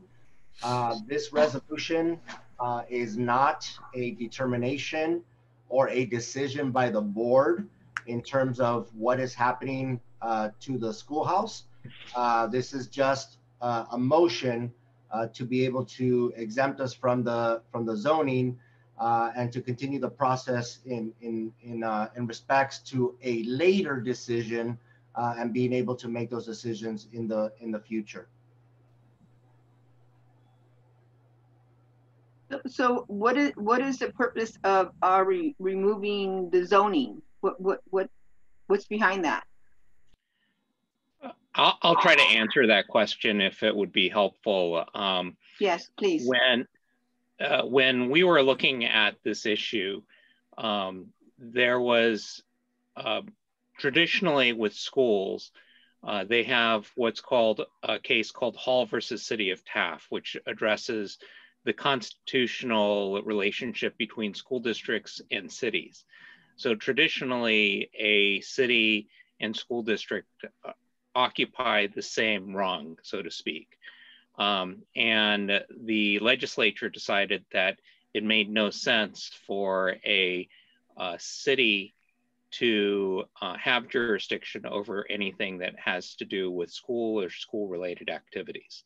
And um, there have been a number of cases interpreting what that means, uh, including things like uh, lights on school fields being considered school activities. Um, when I looked at this with the CEQA consultants, um, the conclusion was that this is really a school activity because you uh, have Slauson School and you have needs with regard to Slauson School. And this is um, not, there are uh, different things that could be done with regard to uh, this uh, historic structure or the structure. And um, uh, that what your overriding concern, what it is that the school board's overriding issue is, is what it is that your school activities are not um, necessarily being placed in a position where, for example, if you're a developer, uh, having to uh, consider other elements uh, that may be uh, coming in. Um, what's going to happen is you're going to have an environmental impact report presented to you with all of the various impacts, including costs. And we felt that it would be better to not have the city um, impose zoning restrictions on you and say, this is our position. Uh, instead, have you do a full and fair evaluation of the environmental report. Uh, in that environmental report, we're going to consider historic. Sorry, excuse me. Who who who decided that? You're saying it was decided. So my question is, who decided that? Traditionally, what happens is the cities will follow Hall versus City of Taft, which is a Supreme Court case. In this particular case, the city had some comments. Um, we are considering those comments and the comment letter uh, response comes out as part of the EIR, and that is going to come out after um, uh, this resolution is adopted. Uh, so because this resolution actually has an effect with regard to how the response letter is prepared. Um, the significance for us is um, it, it's important for the school district to keep all of the school district functions intact rather than have the school district functions be overseen by the city, which is uh, what it is that this zoning restriction happens to do uh, which is why we've asked for a government code section 53094 resolution to make it clear, if that makes sense. So can I ask, um, so is this building marked as a historical site in, it, in writing? It, yes. It is not. It is not designated historical uh, by uh, state or federal. Uh, it has only um, uh, received some review with regard to uh, city. Uh, so uh, it's not it's not considered historic under um, historic building code. Uh, it's not considered historic under um, historic in the normal sense.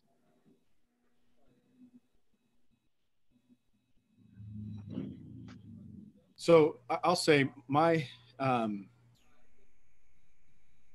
the so, some of the concern that I have is that um, I, I I understand it, and it's been it's been described thoroughly. You know, so, so some of our what what our what our kind of kind of rights and, and, and some of the jurisdiction and wh- where that lies and, and what a what a school district can do versus what a where where the, the school district makes decisions versus the city that that's been thoroughly um, described and explained to me and I and I get that um, I I would I would suggest that that does not e- even though a school district may have the the the absolute right or you know ability to make certain decisions in a certain way um, that does not preclude us from from like taking into consideration our partners at the city and take a take into consideration um, just just the, the, the relationships and, and the partnership with with the the, the city and so um, Arturo, I saw that you confirmed that you did reach out last week and and um, speak to uh, Sergio, the city, manager, about it. Um, Jerry, did, did you also reach out um, to uh, Historical Society? Thank you, um, thank you for that, Jerry. So I think that those those are important steps, and I'm glad that that happened. I, I guess I'll say that I'm I'm a bit surprised that um, that it didn't happen sooner. Um, I think that we had some, there was some time and space to be able to have, um, I mean, a, a, good number of months where where there there was time to make these, you know, ha- have these conversations formally and informally. Um, and so I I did have uh, you know a couple conversations, you know, over the course of this past, you know, these past few days, where there are people who are communicating some some of their concerns. And so again, it's just unfortunate that this didn't happen sooner. We can't go back and change it. I wish we could. We can't go back and change that. We are we are where we are now. Um, and and with that in mind, there's a couple things I would like to you know to suggest and recommend. One, yes, that we do as it was already suggested earlier.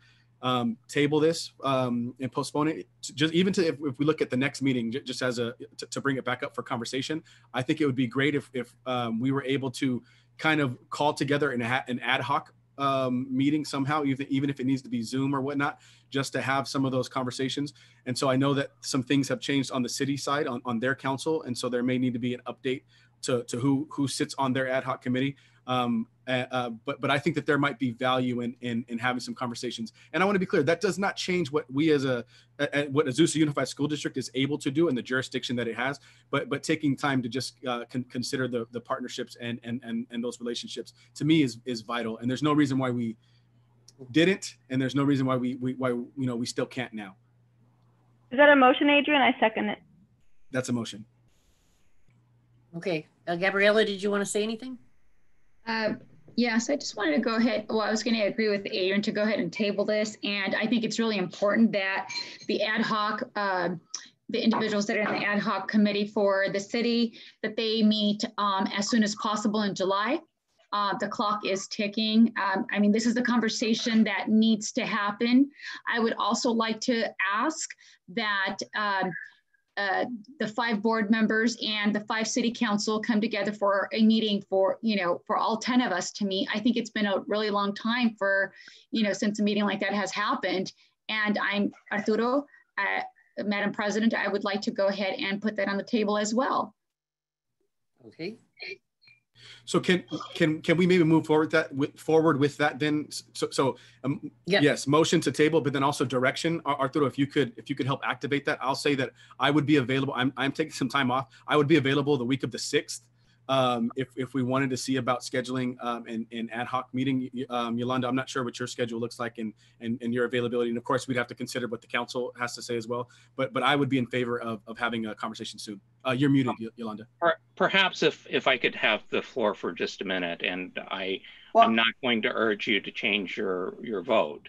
Um, I I do have a Could, couple. Actually, actually, Yolanda, would you? I know you you were saying something. Could, would you? Uh, yeah. all I want to say is that uh, I believe they go dark in July because okay. I know uh, Gabby mentioned July. I, I, believe the city goes dark in July, so just, just throwing would, that out. Would you would would you be open, uh, Yolanda? Are you open to having a, looking to have a conversation that that week in July if if the city is to have an ad hoc?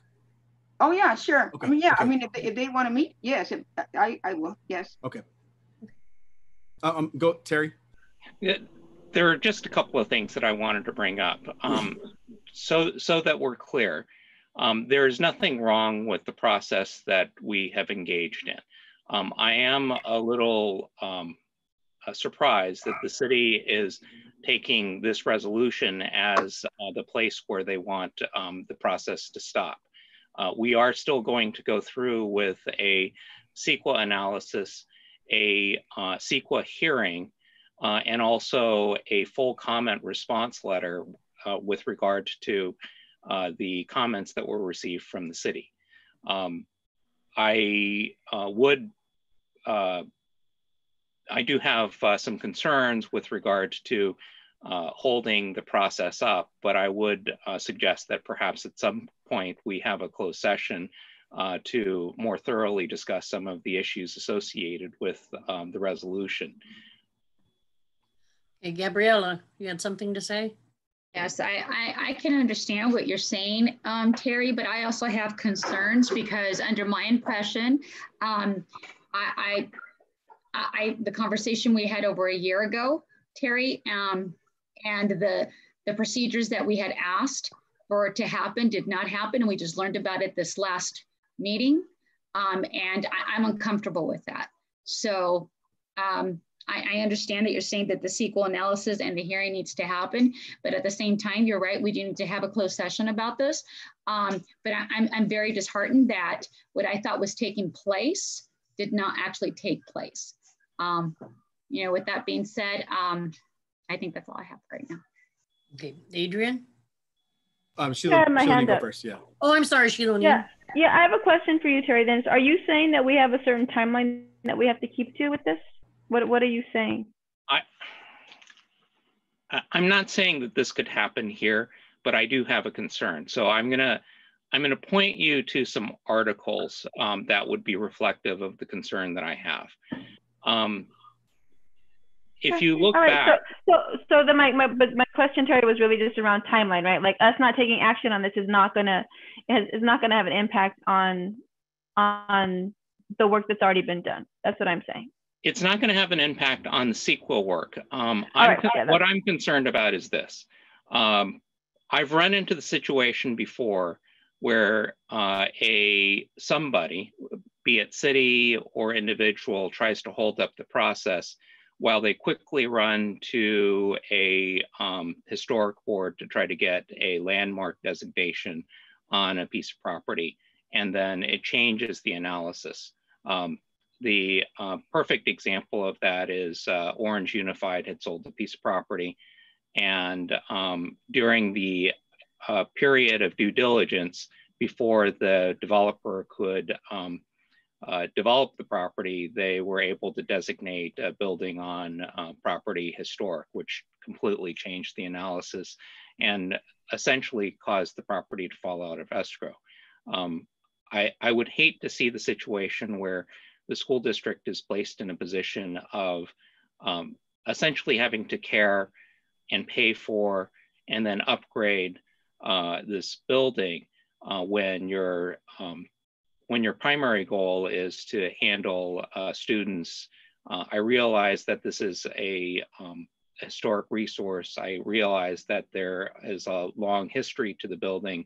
Uh, I think that it is um, well within the district's um, con consideration what it is that you're going to do with it but I don't want the district to be placed in a position where you're compelled to do it. So my concern is if you wait too long, you might get compelled into doing it. And um, there is no timeline right now. I'm just worried that uh, when somebody's saying hold the press, the, hold the presses, that um, there could be other processes working that we may not be aware of that could make things more difficult for you or make it impossible for you.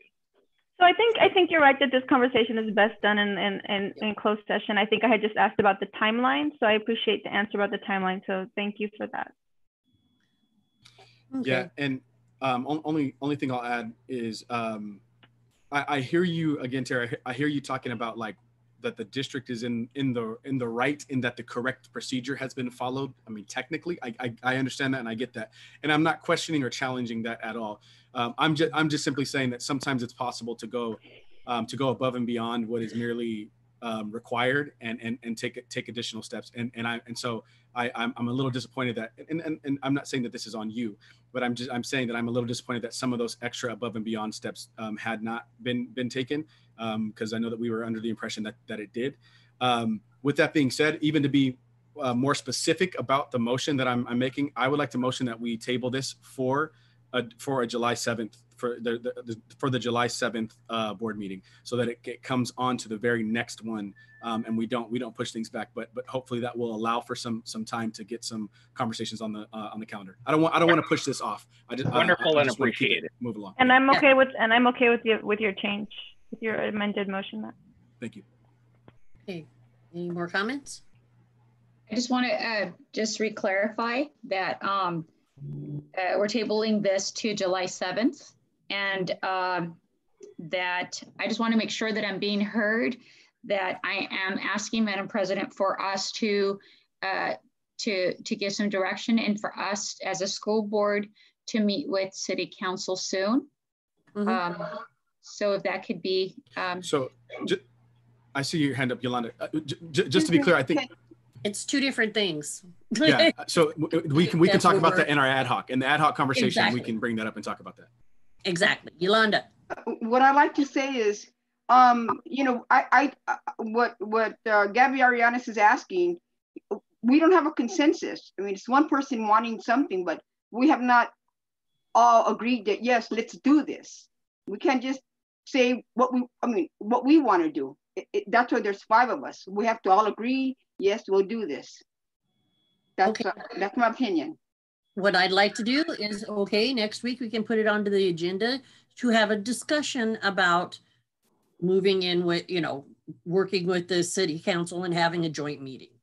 I think that's how, because this is dealing with something else and that's different. could could I ask could I ask instead that um, since since Yolanda and I are on the ad hoc committee that uh, that we hear that we hear those that you know those wishes and can we can we take this into a conversation with the ad hoc uh, Yes. committee from city council and let that be the place where where it- where it begins and we come out from there as opposed to us taking action and steps without considering our, our counterparts with the city Certainly.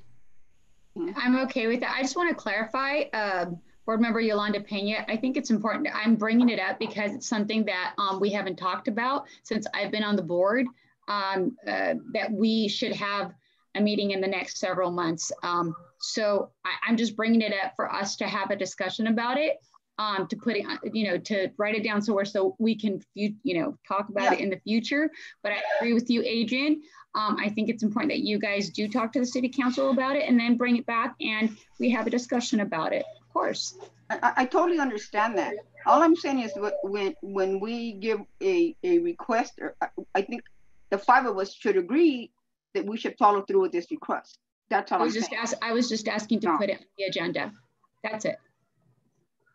I'd like to summarize really quick, uh, just so we're all on the same page.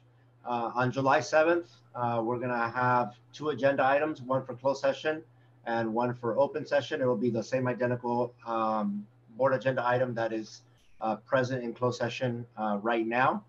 Um, Board member uh, Yolanda and board member Adrian uh, will take the initiative to reach out uh, to their counterparts in the city uh, to think about, clarify, have a conversation in terms of uh, process and, and this this particular topic. Is that correct? Mhm. Cor- correct Yes. Yes. With with the addition of a of, of the, the topic of uh, not only this the schoolhouse topic but also the topic of uh, a joint meeting Joint meeting. we will have that in the ad hoc uh, conversation as well Okay, any other comments? Okay, I guess we can go ahead and vote on um, tabling it to the next meeting tabling it till the next meeting.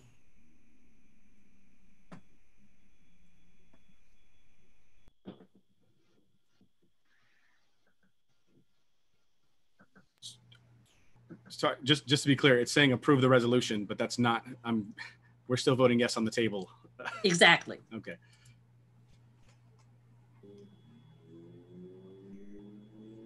passes five zero. And then now we will move on to uh, nine point four, Azusa Unified School District's legal services. And Arturo. Thank you. um, so at our last, um, at a previous meeting, uh, we, we discussed and we talked about um, having and trying to come up with next steps in terms of legal services for Azusa Unified School District. Uh, in an email conversation uh, with uh, Ms. Jerry Bibles Vogel, um, we felt that it was prudent and necessary uh, to gain clarity in terms of um, what is uh, the board's desire uh, in terms of legal services. So I want to point out just three kind of things um, that that we we want to try and, and get a clear understanding so that when we are moving to next steps, uh, that we are actually doing the next steps that uh, we all believe are supposed to be the next steps. So uh, we think that there are there's three um, major um, points of clarification. Number one, uh, currently, we have a process um, that has been triggered and has been set in motion. Um, that is an RFP process. Um, during conversations uh, and during kind of logistics, there were multiple suggestions, one of them being uh, that there be two board members uh, present uh, for the opening of those proposals and maybe three board members in Zoom. Different conversations. Uh, should that have been on today's board meeting? Is that a separate board meeting? We know that that's going to take time. Um, and so we had kind of that, that set in motion. But at the same exact time, there were also conversations about wait a minute, time out. Was this supposed to be an RFP or was this supposed to be an RFQ process? And so for for for us to continue on the RFP process when when we were supposed to be on an RFQ process, obviously uh, sets us on the wrong on the wrong track. Uh, and then and then finally, there's also been conversation around um, is this something that the board is looking to to be a part of in the sense of um, the the actual uh, the actual request, uh, the actual evaluation, um, or is that something that the board is looking to to to frame more conceptually, and then staff um, move forward with that? And so those are those are kind of the the things that we're trying to gain clarity so that we know how we're taking um, our, our steps uh, forward. Um, we are ready. Uh, well, by we, I mean Mark. Uh, Mark is ready to, if we need to engage in the conversation uh, in regards to what the difference between an RFP uh, and an RFQ is, uh, we can do that. we can do that as well. And so those are kind of the, the three the three buckets that that we'd we'd like to discuss. Shiloni?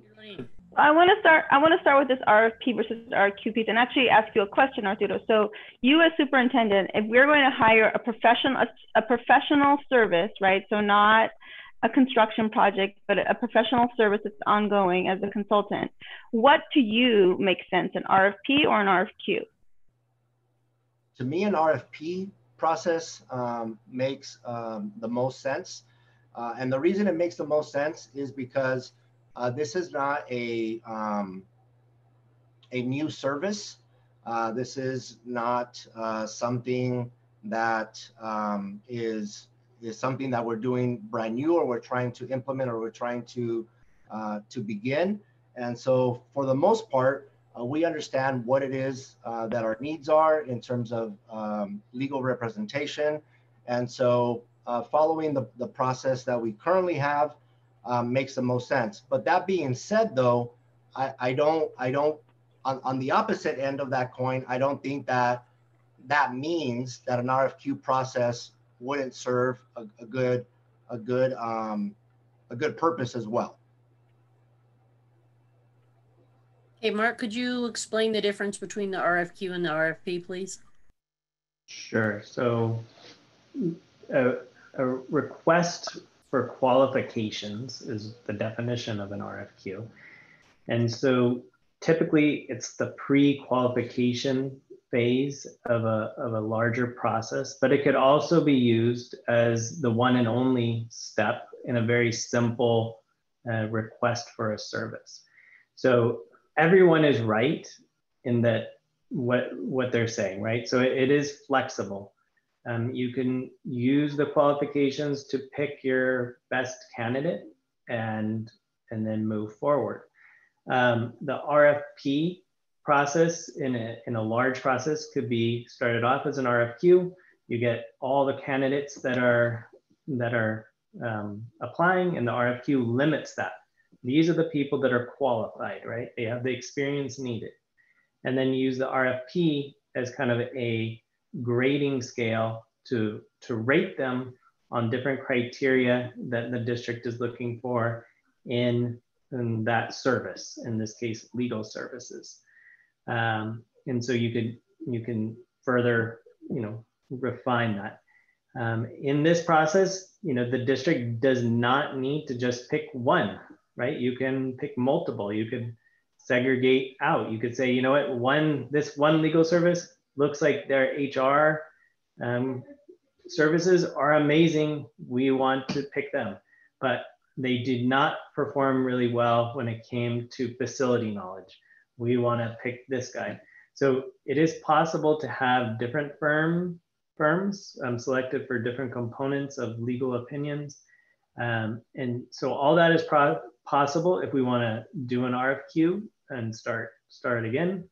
Um, or if you wanted to open the RFP um, responses that we've already received, um, all of that is possible. It is also possible to, after reviewing them and scoring them, um, it is written into the RFP that we have that you can call them in for an interview and listen to um, you know the, the partners speak and that can help you refine your selection process. So nobody is wrong. Everyone has the right definition because they're, they're all kind of flexible. Um, but I, I apologize. I, I, that is the direction I received. So, um, you know, if I inconvenienced the board in any way, I do apologize. I think Yolanda. Yolanda next. Um, so um, I have several questions regarding the RFP and the RFQ. So is there a um a process like which one comes first? If there is first, or do you just do one? You know, my first, my second question also is, what is the protocol that we use at Azusa Unified when we are hiring? Because uh, what you said, Mr. Ortega, earlier about opening the envelope, and you talked about, you know, what process we want to do. What is the actual protocol that we have used in the past when we are hiring legal or, or whomever. Go ahead, Mark. Um, I don't know the process that the district used to hire legal last time. I believe it was through an RFP, but I'm not certain of that. But for all of our um, consultants that we hire with the bond, um, we go through a, an RFP process.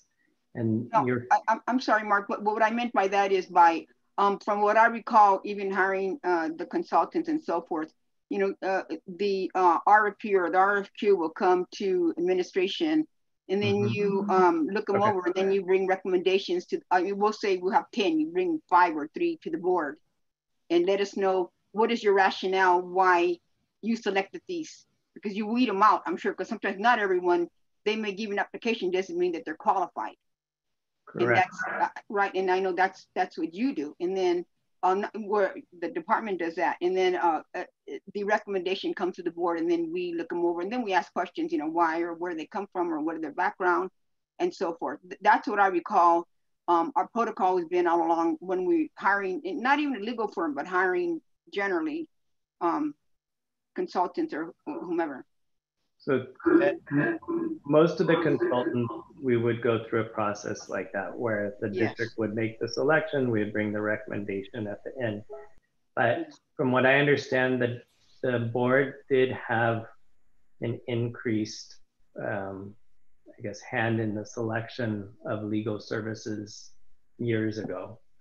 Um, from, from what I understand, I might be incorrect. It was prior to me being here. But you also asked what what is what comes first, the RFQ or an RFP. So the RFQ always comes first. Um, it if, if you're gonna have a two-step process, you would do the RFQ and then you would do the RFP. But you can do an, just an RFQ and you can do just an, um, an RFP. Um, you would really only do both if you had a large candidate pool that you wanted to narrow down before you went to the specific proposals.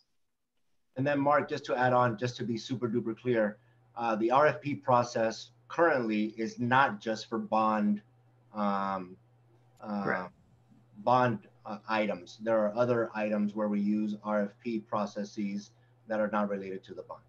Absolutely. For nutrition services, we use it for um, everything that's over Technology. the limits. Um, yeah, all, we use it all over the place for for any, any large purchase goes through an RFP that isn't you know through one of the the mass buying um, protocols. Yeah, and, and then to double down on, on Mark's comment, um, there, there is no quote unquote right way, right? It's just the, the, the way that, that we would like to proceed with this. I'm not sure who was next, if it was Adrian or Gabriela. It's Adrian. So a couple things I'll um, add. One, um, so the only reason why I would say, you know, I, I, hear how there are different ways to do this, and so you know, so so generally speaking, there isn't a right way or a wrong way. Um, the only caveat I would add is that to my to my pretty pretty solid recollection, the direction that was given from the board was to do an RFQ um, and it was it was not to do an RFP. And so when we're looking at you know right or wrong from that perspective, um, then it was the then then going through an RFP process instead of an RFQ then was a deviation from what what direction was was given. And so then from that perspective, um, it was the wrong wrong course of action. Um, the other other thing I'll add or, or, or say is, um, and this is uh, Yolanda, I know you were asking about um, processes that we go go through with our consultants and, and, and other things. And, and that's my understanding as well that in most situations we go through a process of, of, uh, of where staff looks at it and brings recommendations our way. But i will i will remind us even of the process that we just took with um, uh, uh, appointment of, of, Arturo as a superintendent, there are some there are some kind of services and some situations where we as the board, it's as I understand it as a freshman board member anyway, where, where we would play a, a, a more prominent role in in that process as opposed to any other um, appointments or or, uh, or, or matters of, of employment. And so um, and I, I, you know, would say superintendent is, is in that category. And I would also, you know, suggest that um, legal services are in that category as, as well, that we would play a larger role. Um, and so I, I don't know that I would necessarily look at how we handle consultants with bonds and consultants in other areas to, to, to frame or shape how we would um, hire our legal services. Gabriella. Um, yes, I wanted to, to also uh, convey that the when when this was passed, it was passed as an RFQ, and it was deviated to an RFP.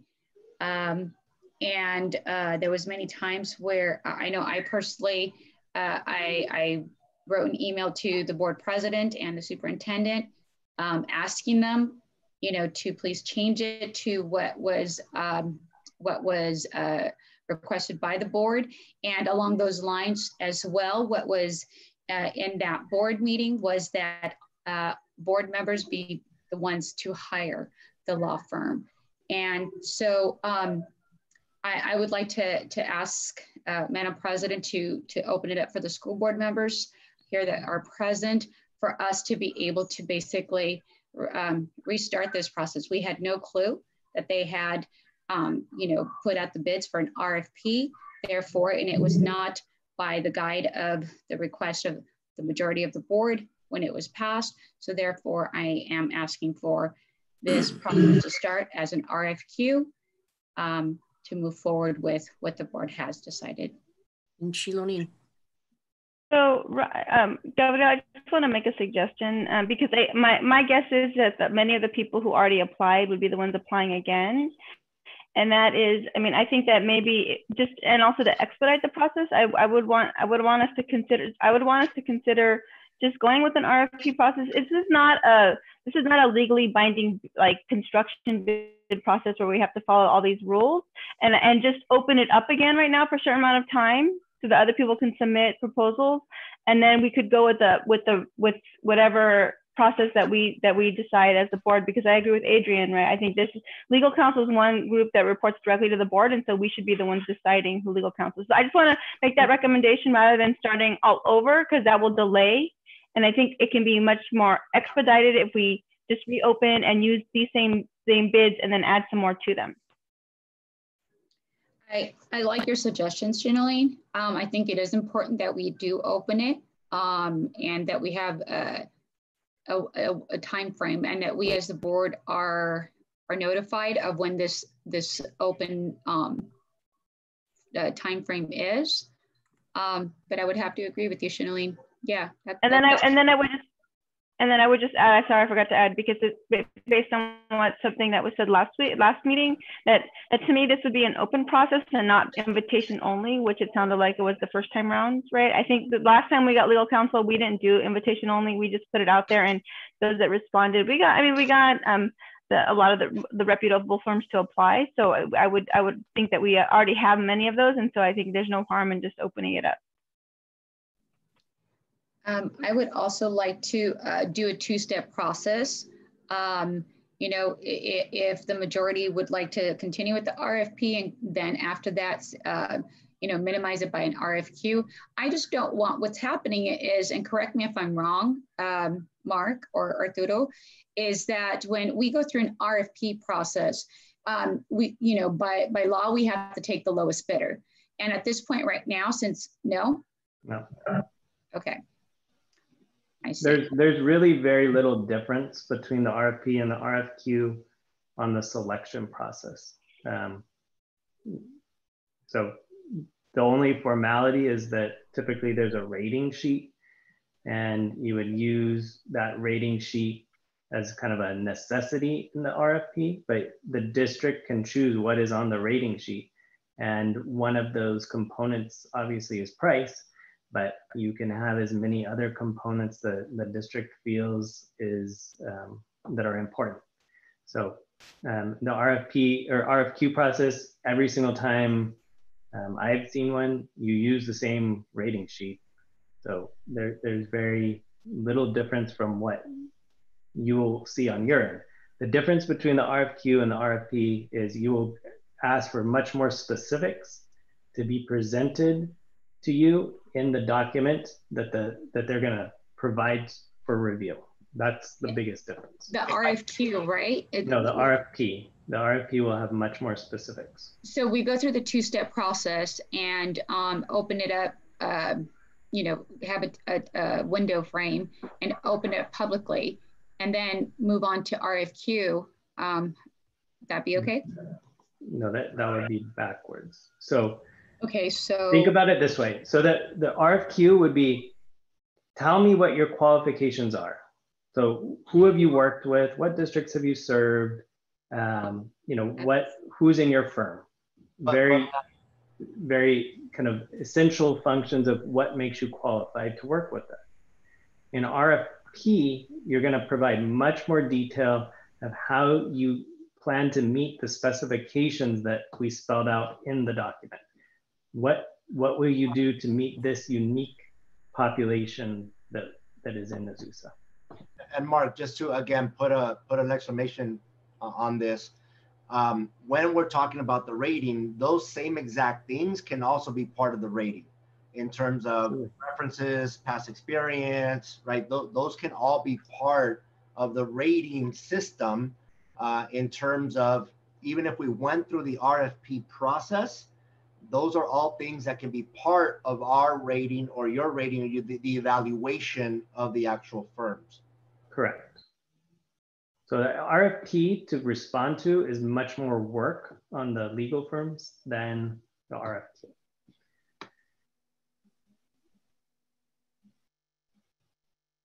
Adrian? Yeah, so uh, um, first, I Shalina, I hear you talking about like the process and, and timing. Um, and, and that, that's while, while I think that that's important, I think, um, we're we don't have to this isn't something that we have to be rushed with uh, in that like and correct can can maybe mark you can speak to this or, or arturo um, if if we were to I, I understand we have like expirations on our contracts or whatever with our current legal services if we were to go into a like a, a more extended process with this um, we would what does that do as far as our our um, legal coverage in the interim? And what are our options there? So with our current firm that does most of our legal consulting um, we will go month to month with whatever the new rate structures are. And that is what is stated in their contract that expires the end of this month And so we will almost inevitably do that either way because of where we are in the process. That is correct. Yes. As a matter of fact, tonight, later on, there is a one such example of that. And Yolanda. Is the um the RFP and the RFQ are they generic or or um where where do they come from? Um and also or can something be added or deleted from this RFP to, uh, to fit what we're looking for? Yeah, so I, I made it unique to Azusa to describe the needs of the district. Okay. But yeah, we can, I mean, if you want to do it again, you could customize it, add different questions or, or ask them to highlight different aspects of their firm and, and the needs of Azusa. Mm -hmm. um, but it, it was a customized document that I put together, you know, at at the direction of, my superintendent. Do you, do you, get it? Do you get it from um, CSBA? Do you get it from the state? Like, where does it come from originally? You just create it? Um, so I, I looked at multiple templates that were out there um, already and and pulled them together. I looked at one of them that Gabby um, forwarded to Linda, and took some of the elements of that one, put it in there. Um, some of the ones, some of the stuff from, um, I think it was Sacramento, um, had, I would say, the majority from that document. So. Okay, thank you. I want to uh, just take a quick pause and summarize uh, where I think we are right now. Um, I think that there has been um, a, a suggestion that we reopen the RFP process, um, move uh, beyond invitation uh, and, and publicize in terms of uh, publicity and, and publicizing and marketing it um, to try and um, get an effort of getting more interest in um, submitting a proposal uh, for Azusa Unified School District, um, is what I'm hearing right now. But again, just for clarity, that that is still taking us through the RFP process, which which I want to make sure that if that's not what we want, right, then we need to we need to make sure that that that is what we're stating uh, right now, and we're going in a different in a different uh, uh, direction. Um,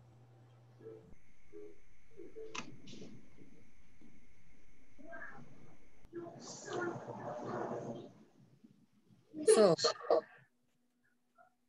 because the alternative, of course, would be let's just restart uh, 100% and um,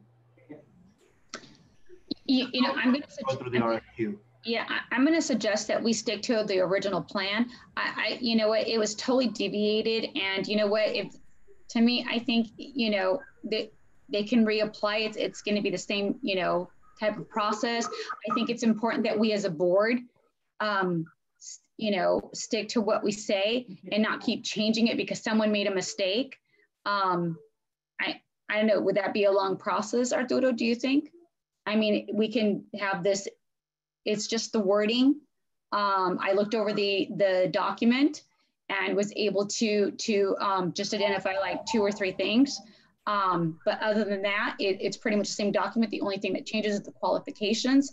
Um, you know, again, a lot of the times when we as a board decide something and something's not done because it's deviated, then we comply. And I really don't want to do that right now. I mean, I know I said that earlier, but I, I, I feel really strongly about this.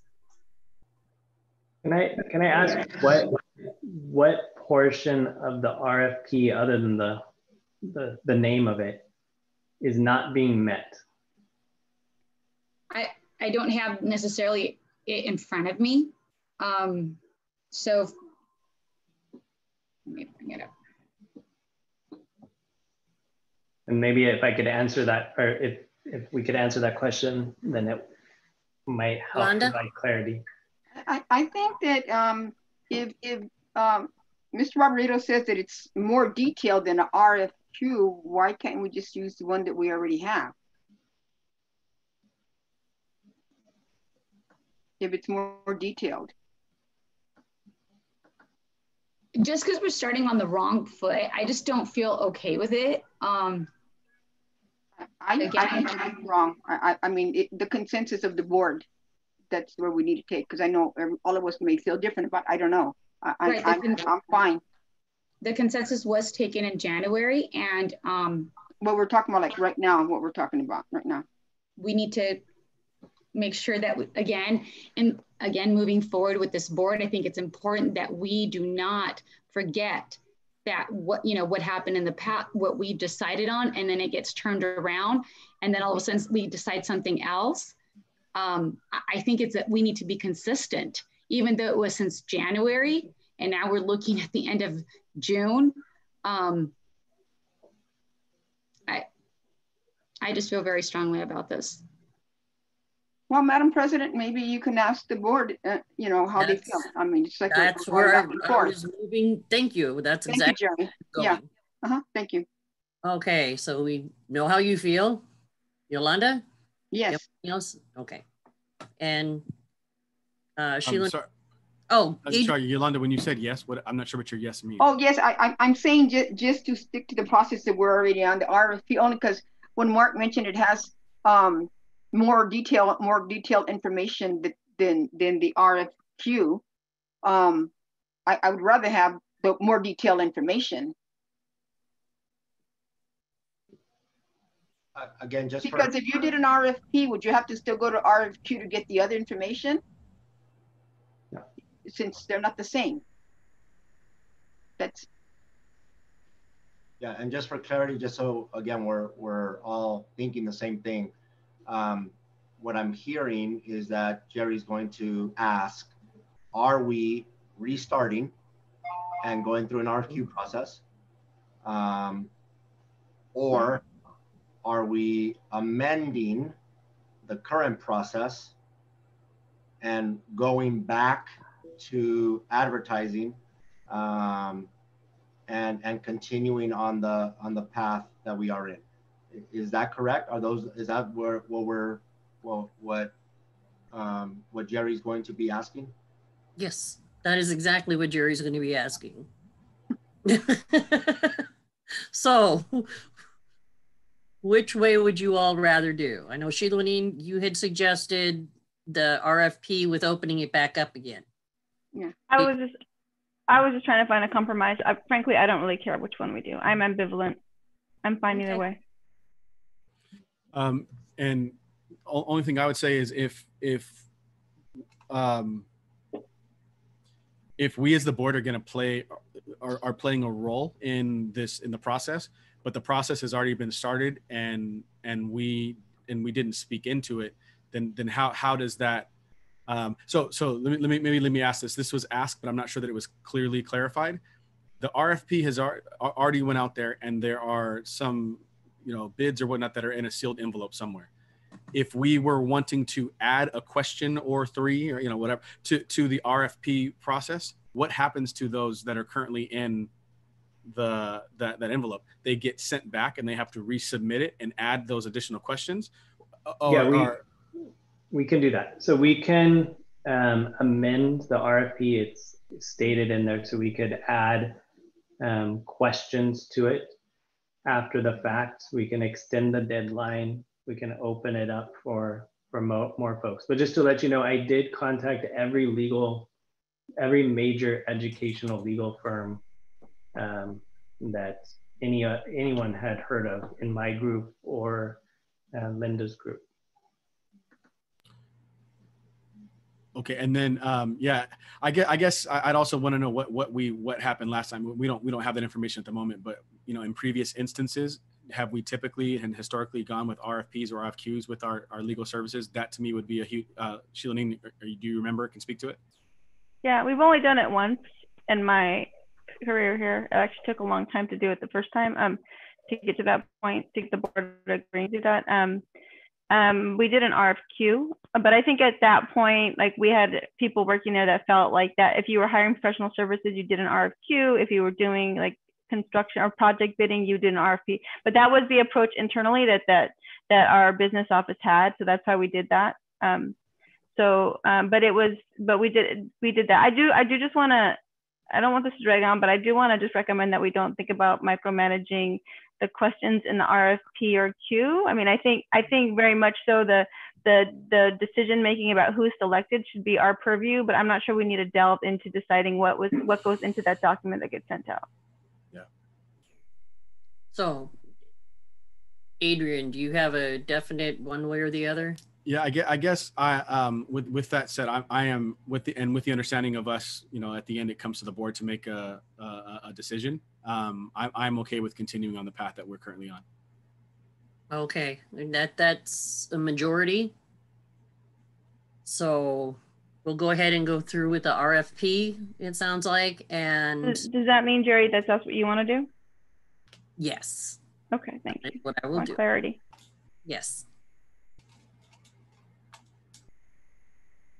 And we'll open it back up again. Yes. I, Okay. What is that period? What is how does that work? What what is that period of time that it's opened up?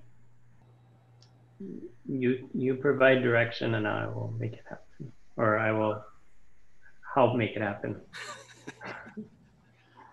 one, one thing I heard is that um, having uh, constant uh, communication in terms of where we are in the process, um, when it's being advertised, uh, where it's being advertised. So I have jotted that down and I will make sure that um, that is uh, transparent and that you know exactly where we are in that in that particular process.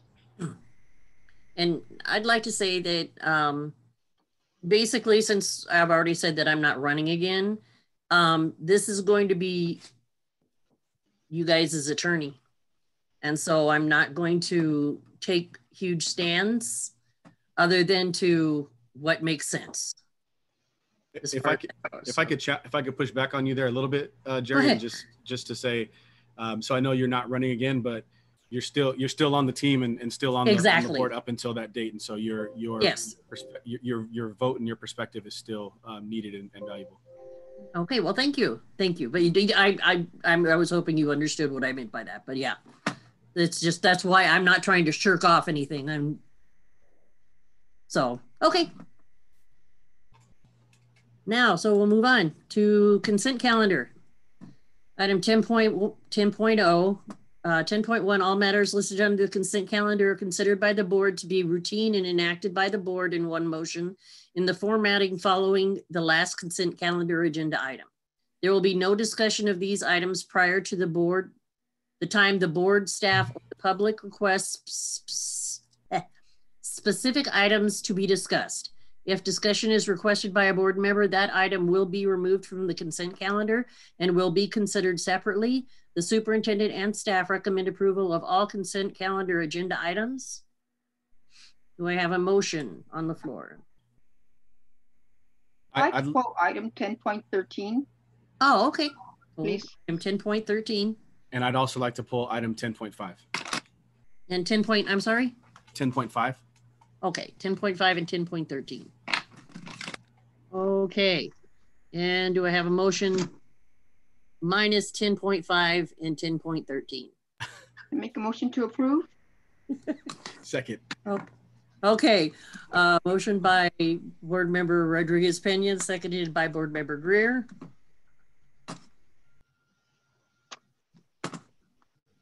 And we can go ahead and vote.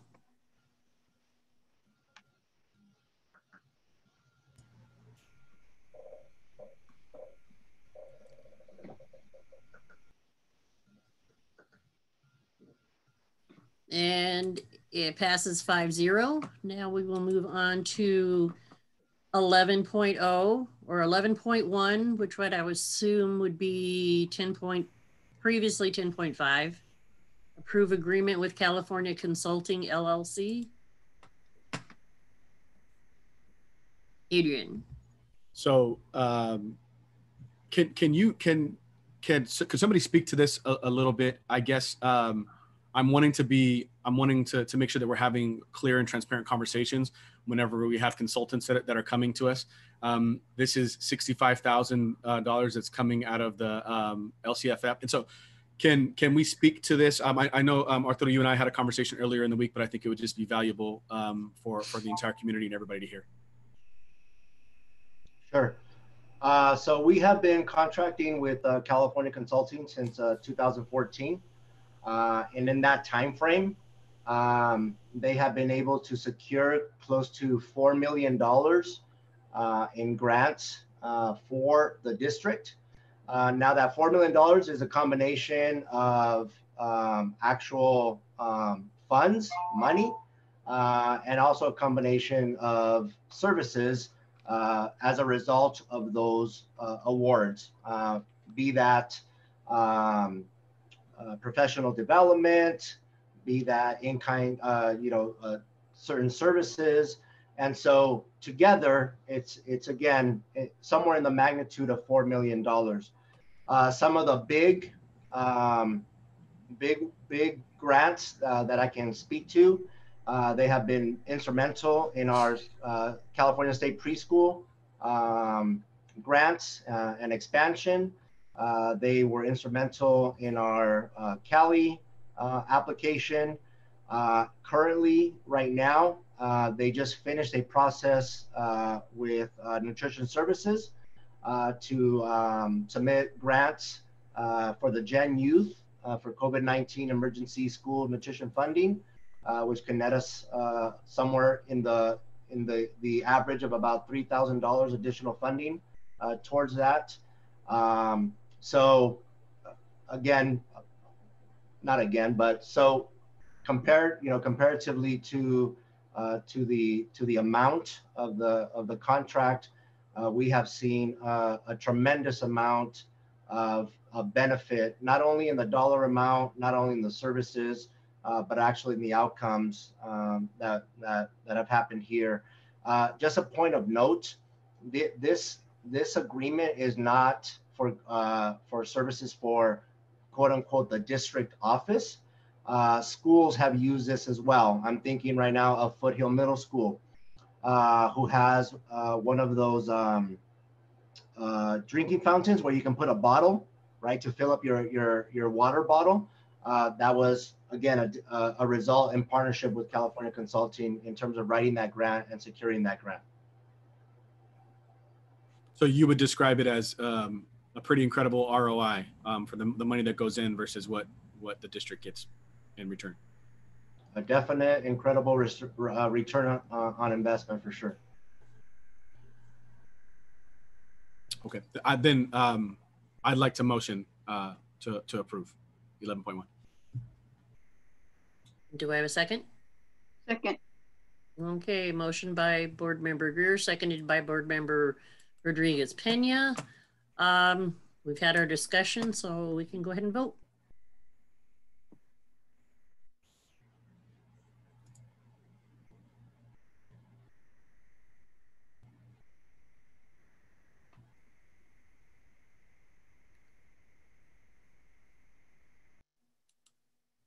Gabriella?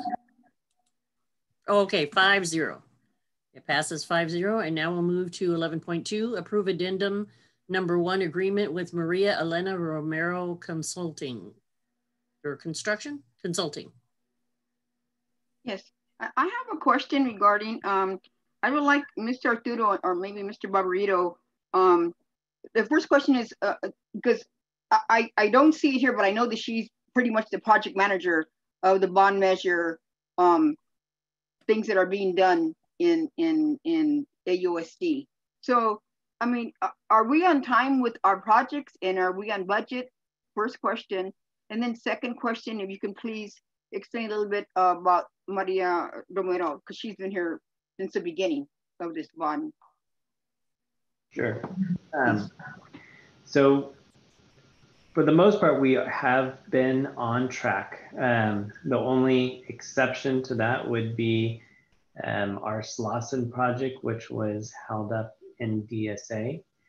Um, but besides that, all of our projects are within a few months of when they're expected to be completed. Um, you know, and we've brought a few of those change orders for a month here or there to, to be wrapped up.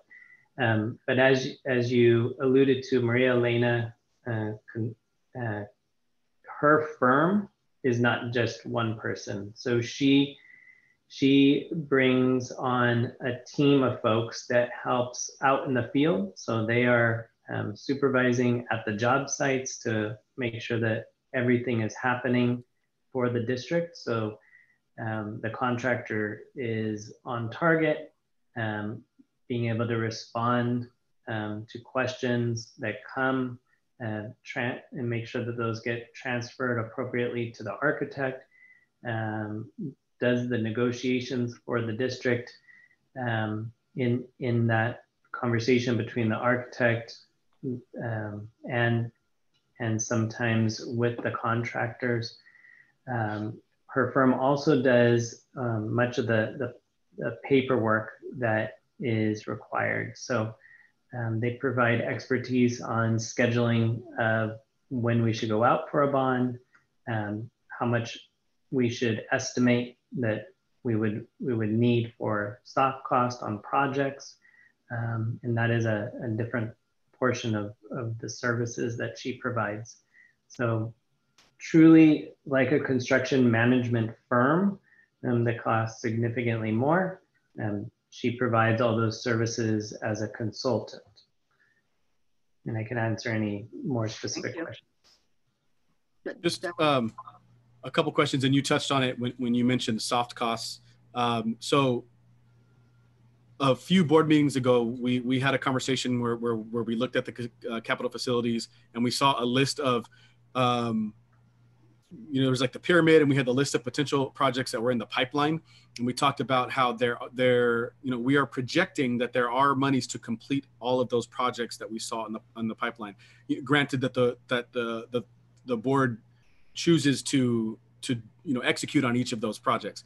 With that being said, I'm, I'm seeing that there are like, I, I did not add up the numbers, but there are, you know, potentially millions of dollars here. I mean, multi that are here in the different consulting uh, um, contracts that are here does that add to and is that a, is that above and beyond the, the cost of those projects or are these numbers worked into those those estimates and those projections that we saw because if if they if, if these are in addition to then i don't see how the math um, works out yeah so on that pyramid one that we bring back um, a few times a year the soft costs are included in the estimates and whenever we've presented information to the board and the soft costs were not um, because the range was was too large. We've called that out explicitly to say these are the construction costs. Um, the estimate of soft cost is in the range of 15 to 30 percent. Um, so that way you could really delineate um, when we've included and when we haven't. But your specific uh, pyramid one that we bring back on a regular basis, that uh, always includes the, the soft cost and specifically these soft costs that come back Correct. like these contracts that come back annually correct and and this these amounts that you see for all of these does not mean that that's how much we're going to pay.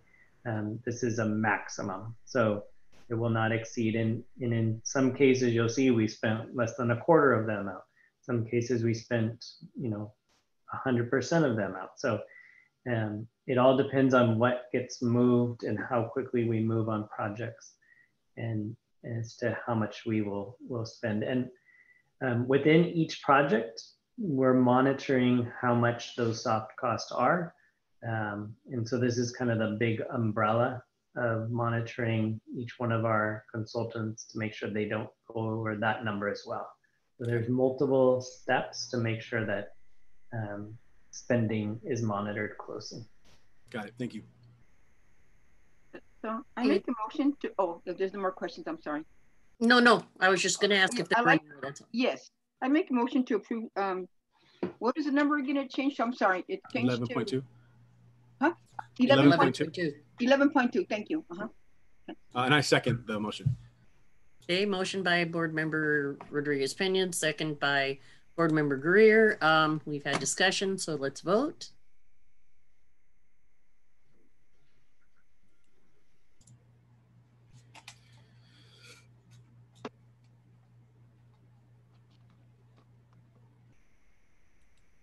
Um, my my browser disappeared, so I'm not voting. Okay, well, we can hand vote. Hold on, let me see. No, I got it. I got it. Oh, okay. it. All right, cool. And it is uh four to one. Okay, and it passes.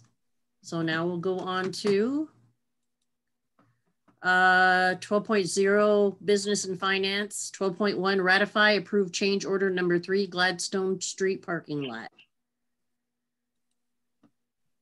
Can we have that explained? Sure. So this is a deductive change order in the amount of 30, almost 36,000 for the unused allowance. So it, there is always a built-in allowance for un, unknown um, things that may come up. And we did not use nearly 36,000 of it. Okay, do I have a motion to approve? I move Make to approve. motion. Okay, Second, uh, motion by Adrian Greer, seconded by Board Member Rodriguez Pena. And any discussion? Okay, let's vote.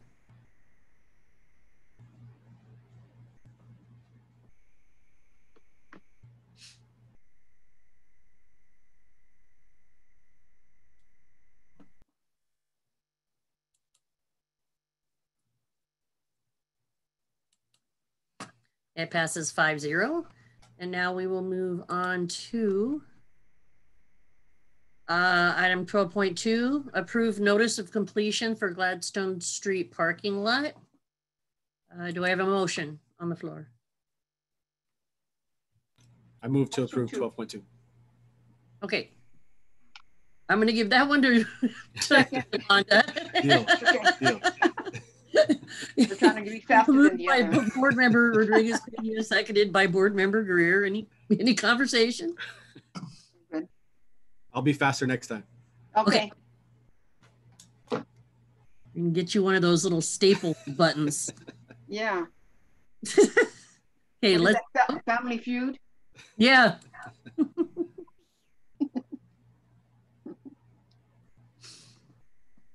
Okay, and it passes 5-0. And then we will move to twelve point three, approve contract agreement with Network, Network Support Group. Motion to approve twelve point three.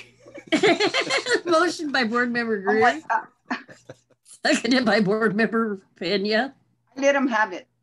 All right, any, any discussion? All righty, well, we'll go ahead and vote.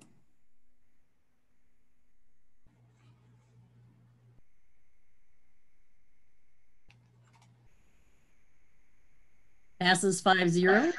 Move on to Motion to approve, 12.4. twelve point four.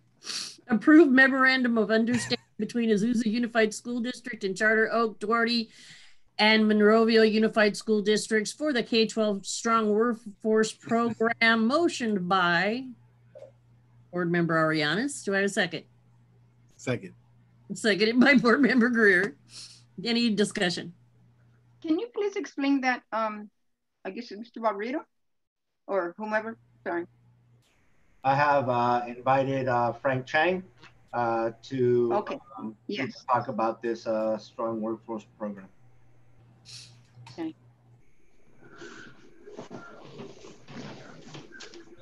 Frank, you're on mute.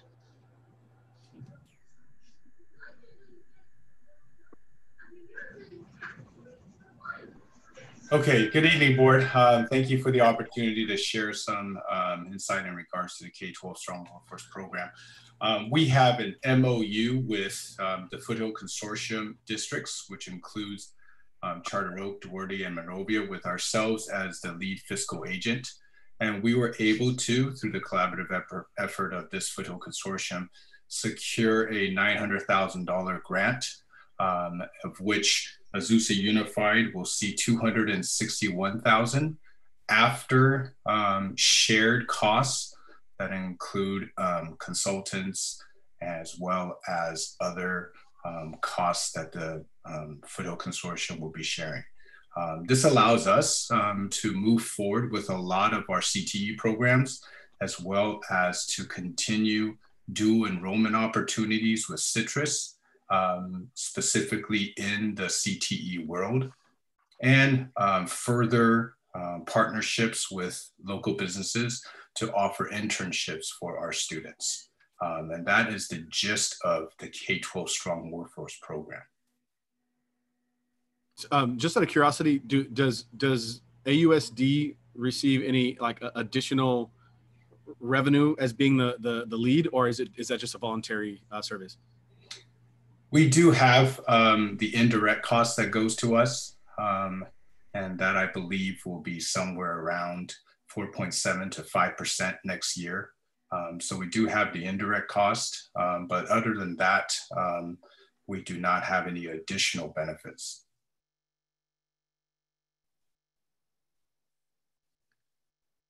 Okay, any other questions? Frank? Okay, okay, let's go ahead and vote.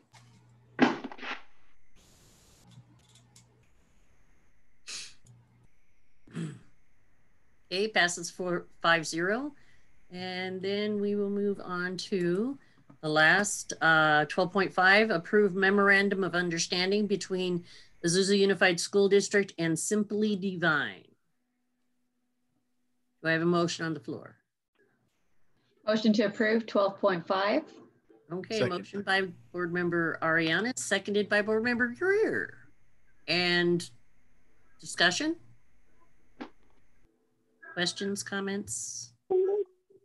Okay, uh, then we can go ahead and vote.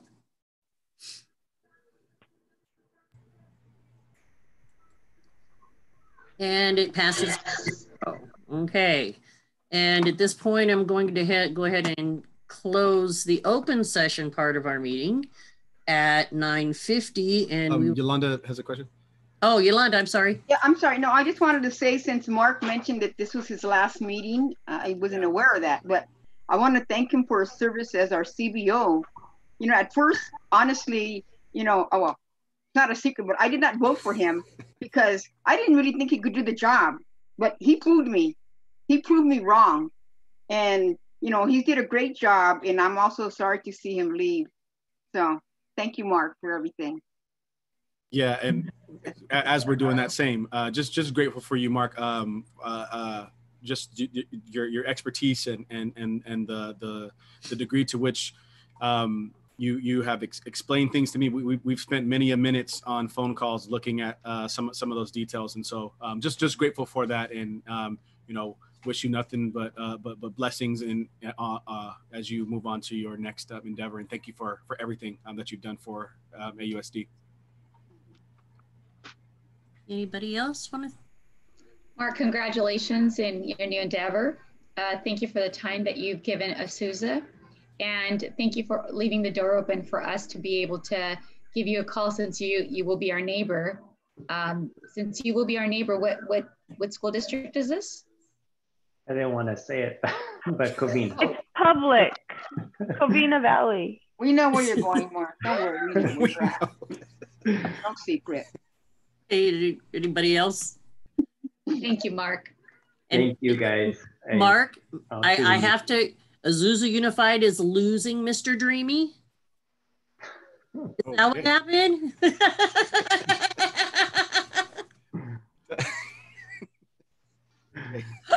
Good luck with what you got to do.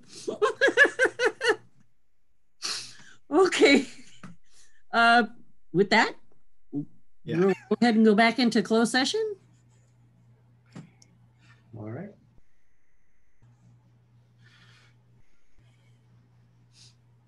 Yeah, Megan told me all about you. My neighbor, Megan Pendergast. Mm-hmm. I'm gonna. Are we still live, Mark? Yes. Let me. Can we stop Oh, no. recording, please?